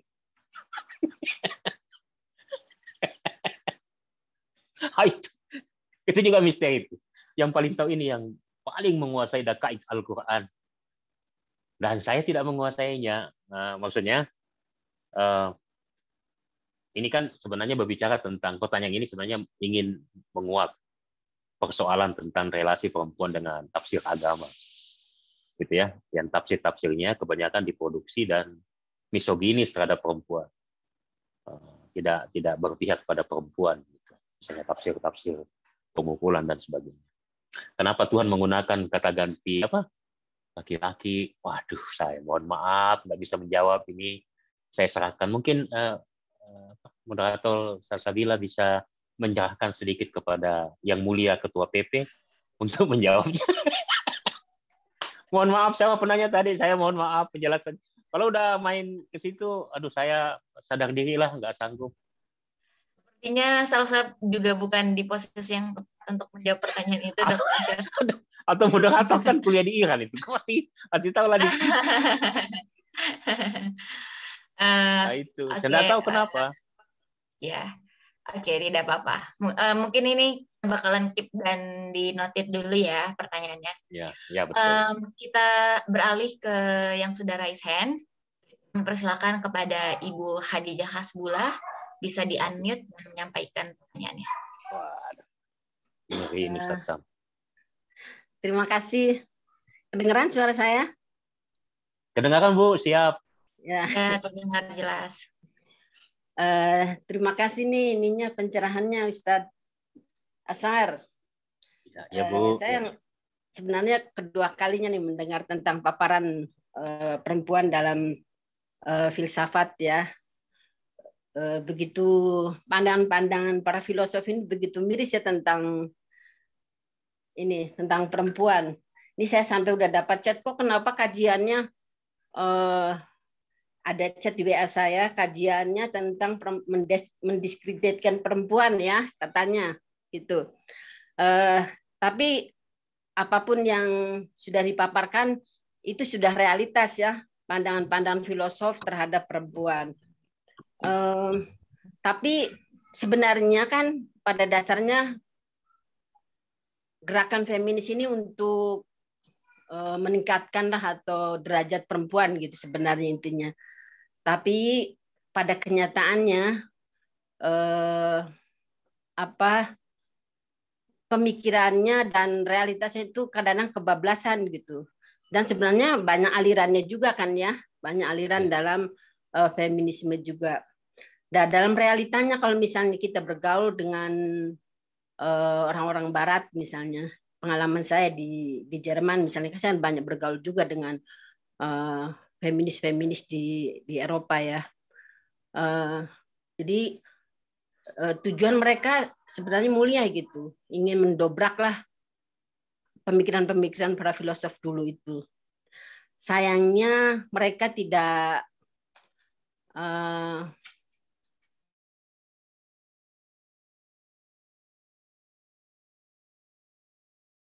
jadi kadang-kadang menginikan dalam kenyataannya itu malah sebaliknya gitu malah sebaliknya uh, banyak perempuan-perempuan yang jatuh uh, dan tidak membuat mereka juga menjadi naik martabatnya begitu. Nah, kalau saya bergaul misalnya dengan dan misalnya kata Ustaz Hazard tadi bagaimana wacana alternatifnya gitu. Sayangnya misalnya banyak pemikiran-pemikiran perempuan misalnya dalam Islam itu juga tidak begitu diterima gitu sama barat ya, sama feminis-feminis di barat juga. Karena yang mereka tahu biasanya itu pemikiran-pemikiran dalam eh, saudara-saudara kita orang-orang Sunni ya. Dan pemikiran-pemikiran juga banyak hadis-hadis yang tidak mengangkat derajat perempuan gitu. Itu sayangnya. Jadi mereka juga tidak menerima gitu pemikiran-pemikiran yang dikemukakan sama saudara-saudara kita nah sedangkan mereka juga kadang-kadang bukan kadang-kadang lagi di barat itu kan Islamophobia juga itu juga jadi masalah gitu boro-boro mereka menerima pemikiran perempuan dalam Islam sudah Islamfobia dulu gitu. Jadi itu juga membuat uh, tidak ada pencerahan gitu buat mereka. Nah, misalnya saya pengalaman bisa bergaul dengan uh, perempuan-perempuan Iran itu sangat jauh berbeda pemikirannya dengan misalnya perempuan-perempuan yang dari misalnya dari Tunisia, dari Arab Saudi, dari Mesir gitu. Jadi mereka kan pemikirannya uh, yang diambil itu dari misalnya dari Sunni juga gitu. Nah, itu tidak juga tidak memberikan pencerahan kebanyakan. Tidak mem, sebenarnya kalau pemikiran-pemikiran misalnya dari uh, dari ahlul bait itu banyak sangat mencerahkan gitu. Tapi kita mungkin kurang uh, misalnya apalagi dalam bahasa Indonesia kan kurang ada uh, ini kajian-kajian yang intens terhadap pemikiran-pemikiran seperti itu. Jadi belum memberikan pencerahan juga. Nah, kalau saya bergaul misalnya dengan orang-orang Iran itu sangat jauh berbeda pemikiran-pemikirannya dan dalam kehidupan sehari-harinya. Jadi mereka itu berbeda dengan perempuan-perempuan uh, Arab-Arab yang lainnya itu yang saya alami. Nah, saya itu berpengaruh juga sebenarnya pada uh, pijakan mereka gitu. Misalnya situasi di Iran, perempuan-perempuan di Iran itu berbeda dengan perempuan-perempuan di negara-negara Arab. Itu sangat berbeda, jauh berbeda. Pemikiran-pemikiran juga berbeda. Dan dalam kehidupan sehari-hari juga berbeda. Ketika saya misalnya mempelajari dan berdiskusi dengan mereka, mereka punya pijakan yang kuat terhadap pemikiran-pemikiran misalnya yang dari Persia gitu. Misalnya kayak Murtada Mutahari dan uh, selevelnya gitu. Jadi mereka punya pencerahan yang sangat baik tentang uh, perempuan. Nah, itu mempengaruhi juga sebenarnya uh, apa pemikiran perempuan dalam misalnya pemikiran perempuan dalam ahlul bait. Kalau misalnya kita setuju tadi Ustadz Asar misalnya mengkaji juga pemikiran perempuan dari Allah Yahram. Nah, itu saya usul pada Ustadz Asar uh, mungkin perlu dijadikan apa ya Eh, kita ke depannya modul gitu untuk mengkaji gimana sih Allah Haram itu memandang eh, perempuan gitu. Nah, saya setuju misalnya itu sebagai bacaan alternatif, Asar ya, sebagai ya. bacaan alternatif. Terus kita bisa menciptakan sendiri tadi, kemudian eh, berbasis lokal, saya setuju itu. Jadi kita juga bisa misalnya nanti mengumpulkan pemikiran-pemikiran yang misalnya berbasis Al-Quran, hadis, dengan bacaan yang lain gitu, dengan perspektif yang lain sehingga bisa memberikan pencerahan baik untuk kita di sini dan pemikiran-pemikiran juga feminis, feminis itu. Jadi memberikan wacana yang lain gitu. Jadi bisa menjawab kegalauan banyak perempuan untuk eh, menahan pemikiran filosof yang dari seperti yang sudah sudah sudah lama-lama itu. Jadi itu kerja besar kita, Ustaz Hasar ya. Saya Ya, setuju. ya, ya. Oh, tadi misalnya berbasis lokal, berbasis data, saya setuju sekali itu karena itu banyak memberikan eh, pemikiran alternatif gitu untuk mencegah berbagai macam mazhab dalam feminisme itu. Terima kasih Ustaz Dasar. Ya, Bu. Kasih Terima kasih moderatorku yang cantik ini. Ya, kan? Silahkan Dokter Asyar. Ya itu nanti Bu eh, kerja-kerja kita itu kerja-kerja intelektual kita ini akan di akan dikoordinasi oleh Ketua PP ya Ustadz ya. Eh, nanti insya Allah kalau pandemi mereda dan kami kemudian dipanggil oleh Maha Guru eh, menghadap ke eh, makamnya, nanti kita bisa mendiskusikan lebih lanjut langkah-langkah kerja bagaimana modulnya dan sebagainya. Saya kayaknya ini belum dipanggil-panggil Ustadz Sam. saya itu percaya bahwa orang soleh itu, saya misalnya nggak datang ke sana sampai hari ini itu pasti karena nggak dipanggil. Jauh-jauh Ustaz, jauh. Nggak seperti antum Ustaz. Nah, eh, saya sependapat banyak dengan Ibu. Eh, ada dua lapis sebenarnya tantangan perempuan itu. Dan itu berat sekali. Makanya saya mengatakan bahwa penindasan terhadap perempuan itu kerjaannya berat, sangat berat. Pertama, dia harus meluruskan dulu sistem berpikir sistem pengetahuan yang kemudian dianggap merugikan perempuan di semua level ilmu, agama dan sebagainya. Kalau itu sudah dilakukan dan dia melakukan upaya-upaya menciptakan menciptakan wacana alternatif, tantangan berikutnya realitas sosialnya. Ketika hal itu ingin disosialisasikan ke masyarakat kita, penentangannya itu luar biasa lagi itu. Karena itu akan menentang kemapanan. Kata Maha Guru kalau tidak salah dia mengatakan musuh pertama yang dihadapi perempuan itu adalah perempuan sendiri.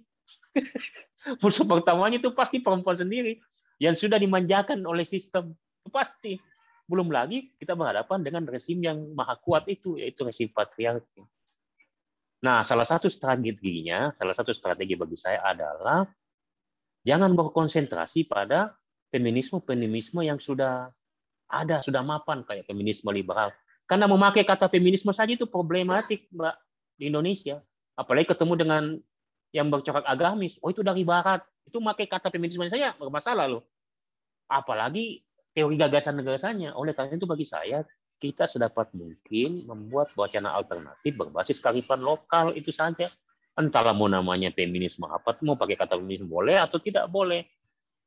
Itu. Tapi itu harus melewati penelitian ilmiah supaya gregetnya itu jauh lebih lebih kuat.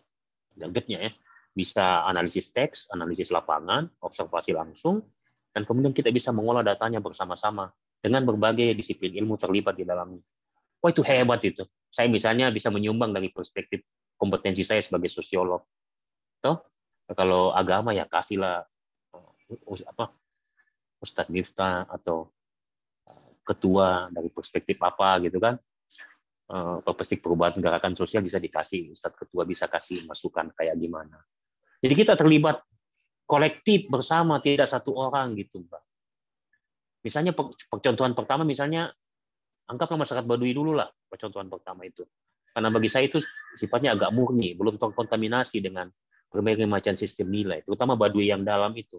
Saya terus terang saya pernah mau bikin training filsafat di Makassar. Sekaligus mengajak anak-anak training itu pergi ke Bandung gitu ya. Karena kiblat intelektual saya di Bandung Ustaz ketua gitu ya.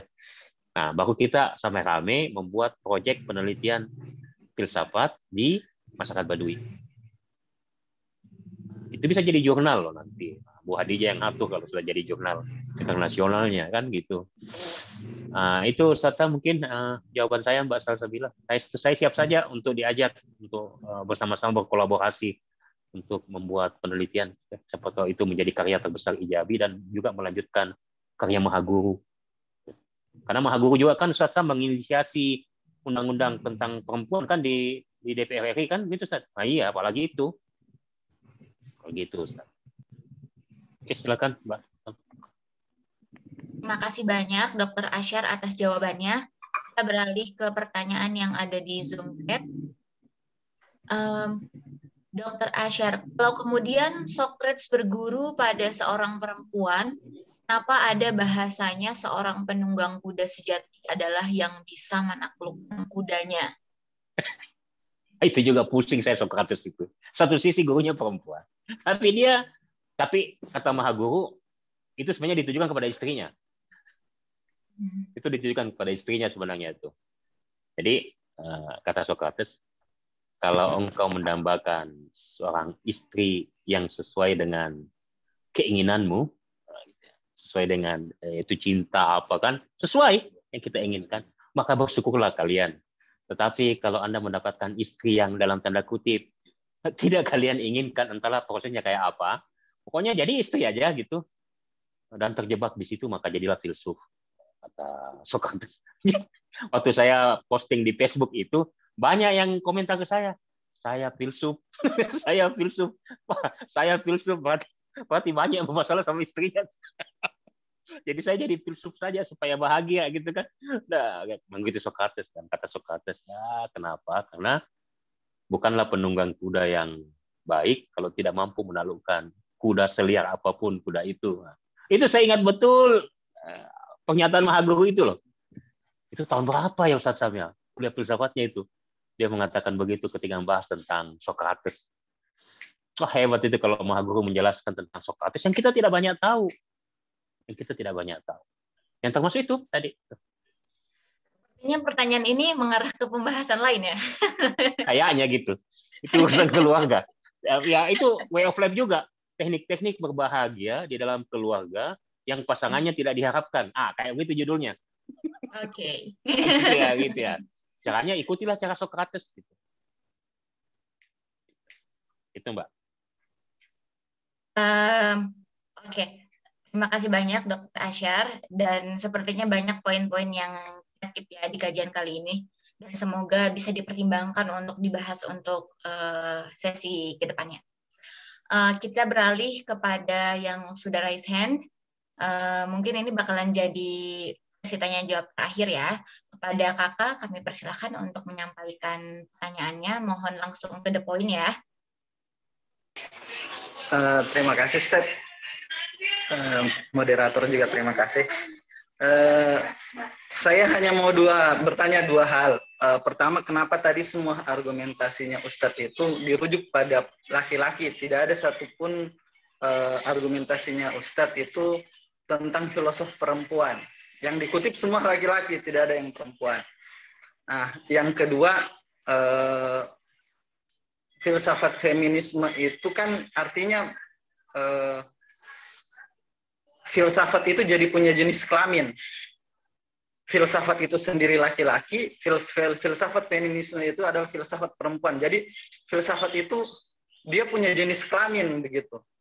Nah, sedangkan kan kalau kita masuk filsafat sosiologi, filsafat manusia, eh, orientasi filsafatnya itu jelas. Nah, ketika kita masuk ke filsafat feminisme atau filsafat perempuan, berarti ada dua nih, ada eh, filsafat sebagai pandangan hidup dan filsafat sebagai pandangan hidup perempuan. Apakah memang harus dipisah, Ustaz? Begitu saja, Ustaz. Terima kasih. Jawab langsung ya Mbak ya. Silahkan Dokter Asya. Yang pertama, kenapa, kenapa tidak ada perempuan? Karena saya belum menemukan pandangan filsuf perempuan yang merendahkan perempuan. Atau banyak yang saya kutip tadi kan pandangan filsuf yang merendahkan perempuan. Kebetulan tidak ada filsuf perempuan yang merendahkan perempuan. Saya angkat gambar pernyataan itu sebagai data bahwa ini problem. Karena ada filsuf yang berpandangan seperti itu tentang perempuan. Itu pertama. Yang kedua, saya sih sebenarnya juga mengalami goncangan juga pada awalnya. Saya pikir filsafat itu ilmu tak berkelamin. Saya pikir filsafat itu pernyataan-pernyataan gagasan-gagasannya itu semua pernyataan gagasannya itu tidak dipengaruhi subjektivitas berbasis jenis kelamin. Awalnya saya gitu, Mbak, waktu belajar filsafat awal-awal itu. Saya pikir ketika berbicara tentang manusia adalah hewan yang rasional, maka itu juga melingkupi laki-laki dan perempuan. Nah, tapi dalam perjalanannya, saya tidak ingin uh, ketika saya kemudian menekuni uh, apa wacana-wacana sosial berbasis kiri atau berbasis sangat kritis gitu ya.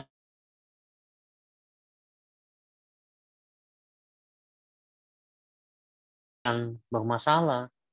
Dan itu dalam penelitian ilmiah itu adalah data. Data. Dan ketika saya telusuri data berupa problem ya dan kemudian saya telusuri wacananya secara khusus memang ternyata itu menjadi, concern. Para filsuf juga? Bukan cuma filsuf laki-laki tapi juga perempuan. Itu loh. Nah, sampai timbullah pernyataan itu bahwa pernyataan-pernyataan para filsuf besar itu sama datanya lebih banyak mewakili pengalaman otentik laki-laki dibanding perempuan.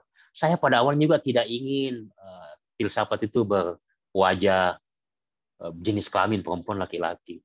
Itu kan enak kan kalau begitu, tapi ternyata pada kenyataannya tidak seperti itu. Dan itu problem. Saya mengatakan itu halusinasi, ada faktanya. Dan sebagai ilmuwan, kita harus memang fokus ke fakta, dibanding gagasan-gagasan yang tidak berbasis fakta. Itu masalahnya. Jadi itulah yang kemudian mendasari saya untuk menawarkan gagasan ini.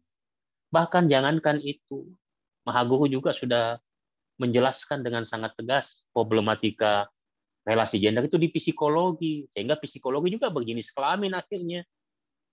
Tapi yang dimaksud berjenis kelamin itu sebenarnya pada dasarnya adalah upaya pemberontakan, upaya menghapus hegemoni, upaya membebaskan diri, upaya untuk melepaskan diri dari ketertindasan dan itu mulia, tidak mungkin tidak mulia. Apa yang dilakukan para feminis pada tingkat tertentu mulia, meskipun kadang-kadang kita tidak menyepakati caranya. Cara-caranya itu yang tidak sesuai dengan basis kearifan lokal kita. Ya kan?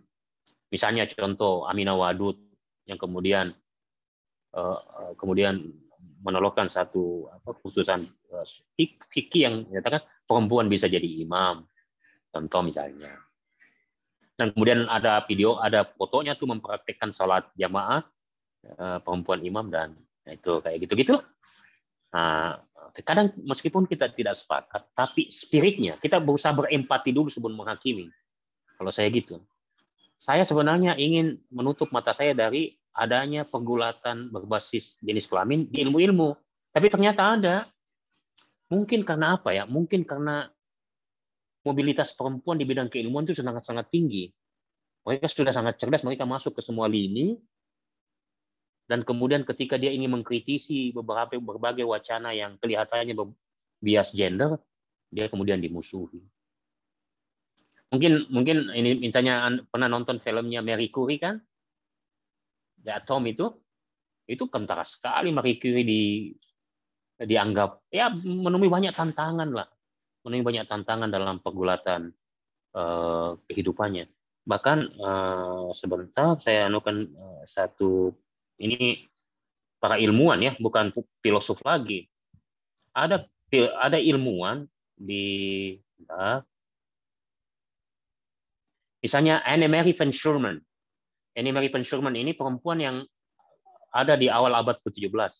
Dia ingin sekali ikut belajar di Universitas Utrecht. Tapi tidak diizinkan masuk karena dia perempuan. Akhirnya dia belajar itu dengan melewati di balik tirai. Itu saking universitas pada zaman itu tidak mengizinkan perempuan menuntut ilmu. Itu terjadi pada Anne Mary Penshurman di abad ke-7 awal abad ke-17. Kemudian Elena Cornaro Piscovia. Itu salah seorang saintis perempuan 1678 itu membuat heboh Universitas Venesia itu karena sidang disertasinya dihadiri dihadiri 20 ribu orang. Tidak pernah terjadi itu. Di zaman itu, di mana perempuan sangat dihinakan, dianggap pekerjaan utamanya hanya begitu saja, bukan otak. Elena Carnaro Piscopia membuktikan bahwa perempuan juga hebat dalam eh, karir akademik. Bayangkan di hari dihadiri 20 ribu orang dalam sidang anunya itu. Kemudian ada yang miris, namanya Laura Bassi. Laura Bassi itu hidup di tahun 1732.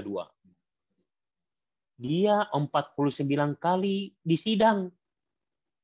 Doktoral. Bayangkan coba. Diuji 49 kali hanya karena profesornya nggak percaya bahwa perempuan bisa begitu. Bisa dibayangkan itu kita kan paling tinggi kalau doktoral mungkin hanya sampai berapa kali ya? Empat lima kali kan sidang itu. Laura Bassi menghadapi 49 kali sidang hanya karena lima profesor penguji itu tidak percaya bahwa ini bisa keluar dari dari kotak seorang perempuan. Dia mempertahankan disertasinya selama sebulan. Mempertahankan disertasi kan satu hari Ustaz Sam kan? Ini sebulan mempertahankan disertasi itu kan gila itu. Itu Laura Bassi, seorang saintis yang luar biasa. Ada lagi Emile Chatelet, seorang uh, saintis dari Prancis. Itu dia ditolak sebagai anggota Académie Royale de Sciences di Paris. Kenapa? Karena dia perempuan. Dia perempuan. Eh, Margaret Cavendish, seorang perempuan dari Inggris, itu ditolak juga. Di masuk kepada Royal Society of London, dia ditolak karena perempuan. Itu kisah-kisah para saintis perempuan yang mengalami mengalami penindasan seperti itu itu fakta nyata itu tidak bisa di tidak bisa dihindari. Itu tokoh-tokoh ya yang mengalami permasalahan. Belum Hipatia yang dibunuh kan tidak main-main. Jadi tugasnya berganda pertama meluruskan wacana membuat wacana alternatif setelah itu kan dia harus publikasi ke publik lakukan gerakan sosial ini pun ada penentangannya tidak main-main tugasnya perempuan berat sekali untuk meluruskan sejarah ketertindasannya itu berat sekali nyambungnya. Pakai nyambungnya. Nah, itu betapa beratnya tugas perempuan itu dibanding kami yang laki-laki ini. Wah, saya kalau begini mah jadi semangat kan. Oh, sudah ke dia mau kan kita harus membela kaum mustadafin. Pilar kelima itu sasamnya. Nah, saya mau jadi saya uh, sebenarnya uh, masih malu-malu nih mengakui bahwa saya ini feminis laki-laki, tapi saya tidak mau mengklaim diri seperti itu. Di, di kelompok intelektual ini saya sudah dianggap kalau bicara feminis laki-laki ya saya lah diundang. Kalau di sini ya di Makassar. Tapi saya tidak mau karena saya tidak pernah bisa mewakili pengalaman otentik perempuan. Saya tidak pernah mewakili situasi emosi ketika hamil. Saya, saya jadi apa pun perkataan saya itu juga tetap harus dirujukkan kepada pengalaman perempuan otentik. Itu saya tidak mau sombong mengatakan bahwa inilah perempuan. Gitu. Tetap aja perempuan harus mewacanakan dirinya, menjadi subjek bagi dirinya sendiri kata Simon de Beauvoir. Jangan menjadi objek bagi yang lain. Kalaupun kita sepakat, misalnya dengan suami kita, bukan karena hierarki sosial, tapi karena dia rasional dan kita perempuan menyepakati hal-hal yang bersifat rasional dan didasari kepentingan bersama dan akhlak yang luhur. Ah kalau itu oke okay lah. Itu. itu Mbak kalau posisi intelektual saya sekarang ini. Tapi bagi saya ini kalau berhenti di wacana aja tidak ada gunanya nih. Harus dilakukan. Ya, kita harus menolongkan satu karya. Seperti Ijabi bisa ini kita persembahkan nanti kalau karya itu di depan Mahkamah Agung kan sebagai nah kita pertama itu pasti membuat tersenyum Agung.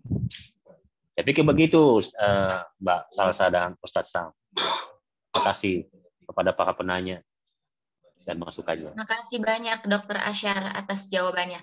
Uh, Dokter Asyar, kalau Salsa boleh menambahkan yang tadi udah Dokter Asyar sebutkan, perempuan-perempuan saintifik yang berjuang uh, untuk mengangkat tentang perempuanannya, hak-hak perempuannya. Uh, Dokter Asyar tahu El Nawal, orang Mesir. Dia adalah dokter sekaligus jurnalis, penulis buku perempuan di titik yeah. nol. Hmm, iya, yang karyanya, oh, yang juga ada banyak karya karya-karya beliau yang lain dan juga sudah hmm. diterjemahkan ke beberapa hmm. bahasa. Itu juga keren banget sih, uh, dokter juga jurnalistik yang beliau uh, ingin menjunjung tinggi hak perempuanan di Mesir pada saat hmm, itu betul. yang nggak dihargain banget gitu dan iya, betul. beliau karena uh, perjuangan beliau beliau di keluar masuk uh, ya, Nawal El Sadawi terima kasih banyak uh, karena perjuangan beliau beliau beliau sampai berapa kali di penjara gitu. Terus dalam dalam masa beliau di penjara pun juga uh, tidak diam begitu saja, tapi juga menjalankan riset-riset yang nanti yang beliau uh, rujuk lagi ketika beliau keluar dari penjara. Betul, Mbak. Terima kasih banyak juga atas teman-teman dan seluruh hadirin yang masih semangat uh, pada kajian pada malam hari ini. Uh, kami mempersilahkan Dr. Asyar untuk memberikan closing statement.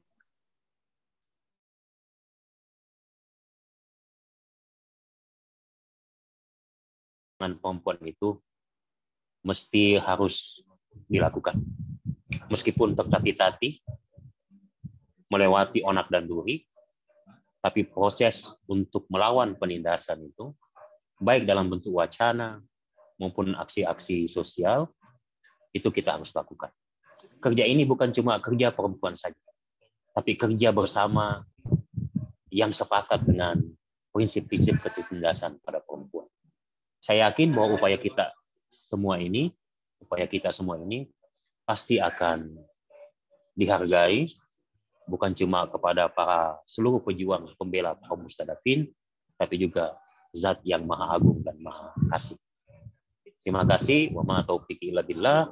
Alaihi tawakkaltu wa Assalamualaikum warahmatullahi wabarakatuh. Waalaikumsalam warahmatullahi wabarakatuh.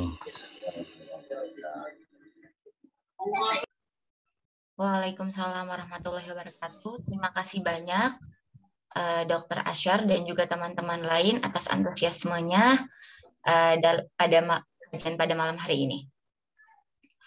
Um, kajian di sesi tiga filsafat S uh, The Way of Life ada tema feminis sebagai Godfly philosopher mengulik langkah senyap perempuan dalam filsafat ini kita bisa belajar bahwa feminis adalah bagian dari teori kritis uh, dalam ilmu filsafat. Um, uh, kajian ini itu juga mencerminkan tindakan atas pembebasan kaum gerakan kaum mustadafin yaitu bebas dari pengekangan berpikir. Um, juga teori kritis terhadap mereka yang sangat uh, keras terhadap uh, ilmu-ilmu filsafat yang mana uh, mengeneralkan uh, teori filsafat uh, maksudnya teori laki-laki lalu mengeneralisasikannya sebagai teori filsafat itu sendiri. Um, dan juga perempuan itu mestinya menjadikan dirinya sebagai sub subjek bukan lagi sebagai objek dan kritis terhadap berbagai disiplin ilmu pengetahuan yang bisa merendahkan diri mereka sendiri. Um, kajian ini juga merupakan uh, upaya menghapus hege, uh, apa namanya kangen terhadap perempuan, terhadap pemikiran-pemikiran uh, perempuan terhadap bidang uh, kehidupan. Um,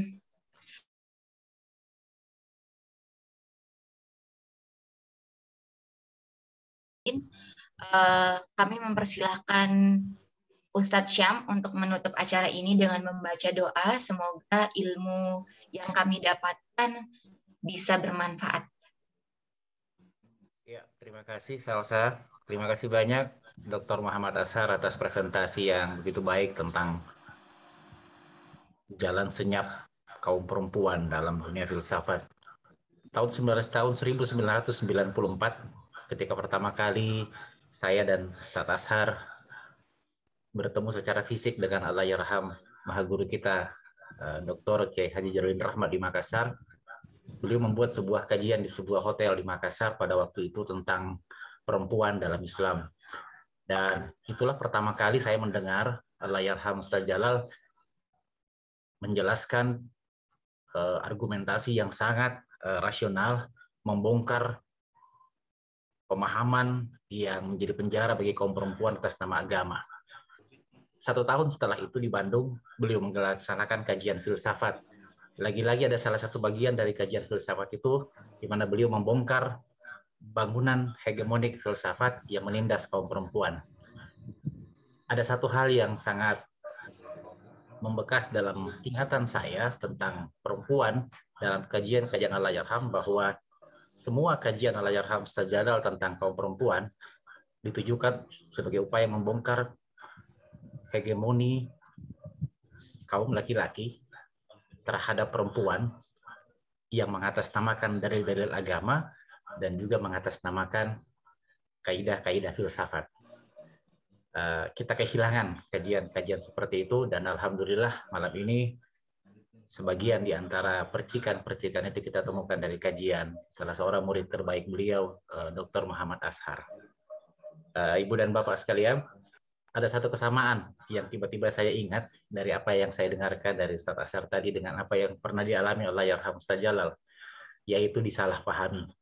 Baru saja saya menerima juga WA dan juga tadi kalau tidak salah Ibu Hadijah menerima WA, ternyata ketika orang tidak bisa mendengarkan dan menyimak secara utuh penyampaian dari awal sampai akhir, yang ketangkap adalah kesan bahwa narasumber tadi kajian filsafat yang disampaikan narasumber kok isinya mendiskreditkan perempuan.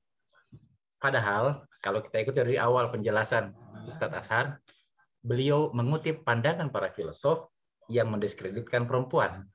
Bukan Ustadz Asharnya yang mendiskreditkan perempuan, tetapi beliau mengutip pandangan para filosof yang mendiskreditkan perempuan. Karena mungkin sebagian di antara bisa masuk belakangan, masuk di tengah, ada yang masuk sekian menit setelah Ustaz Asar berbicara sehingga kesan yang tertangkap adalah kok narasumber malam ini penjelasan penjelasannya tentang filsafat mendiskreditkan perempuan. Itu dialami oleh Ustaz Jalal pada beberapa tahun yang lalu ketika beliau Alhamdulillah melakukan upaya membongkar pemahaman hegemonik tentang perempuan baik dari perspektif agama maupun dari perspektif filsafat. Lalu orang kemudian berpandangan bahwa Ustaz Jalal mendiskreditkan perempuan. Uh, Ustaz Jalal mendiskreditkan agama. Padahal yang disampaikan oleh Ustaz Jalal adalah pandangan orang-orang yang mendiskreditkan perempuan atas nama agama dan pandangan para filosof yang mendiskreditkan perempuan atas nama rasionalitas. Uh, tapi saya kira itulah risiko kaum intelektual. Sepanjang sejarah, tidak sedikit kaum intelektual par excellence itu yang disalahpahami oleh sebagian orang sebagian karena ketidakpahaman, sebagian karena pikiran-pikiran insinuatif, sebagian lagi karena tidak berusaha memahami secara komprehensif.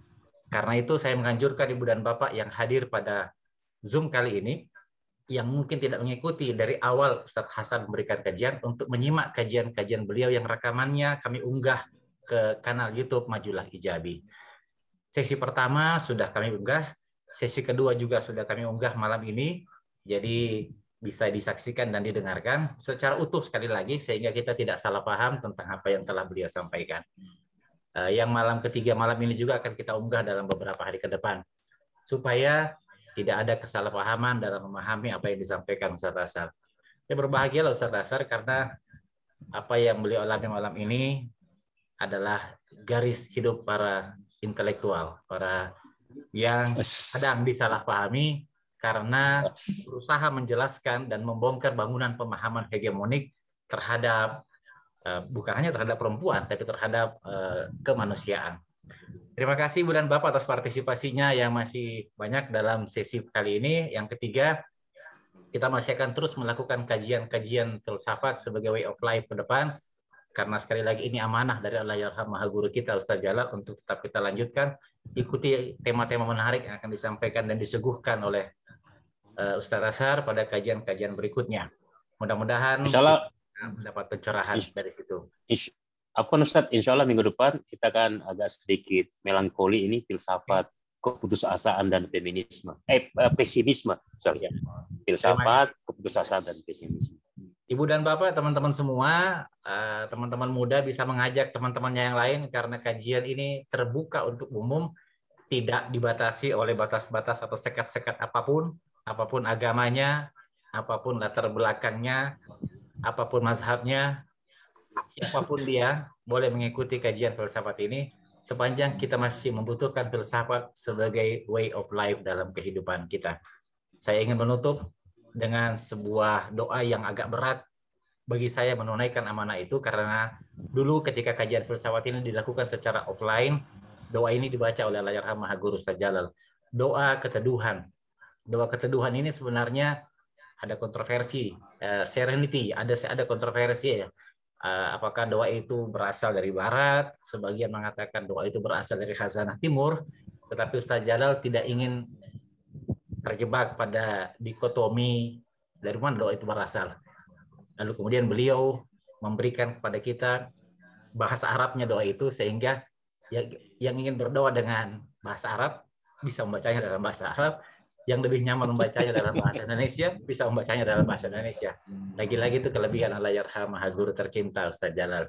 Saya uh, sebenarnya bukan seorang pembaca doa yang baik, tapi saya hanya ingin melaksanakan salah satu amanah beliau, yaitu mengakhiri kajian filsafat dengan doa itu.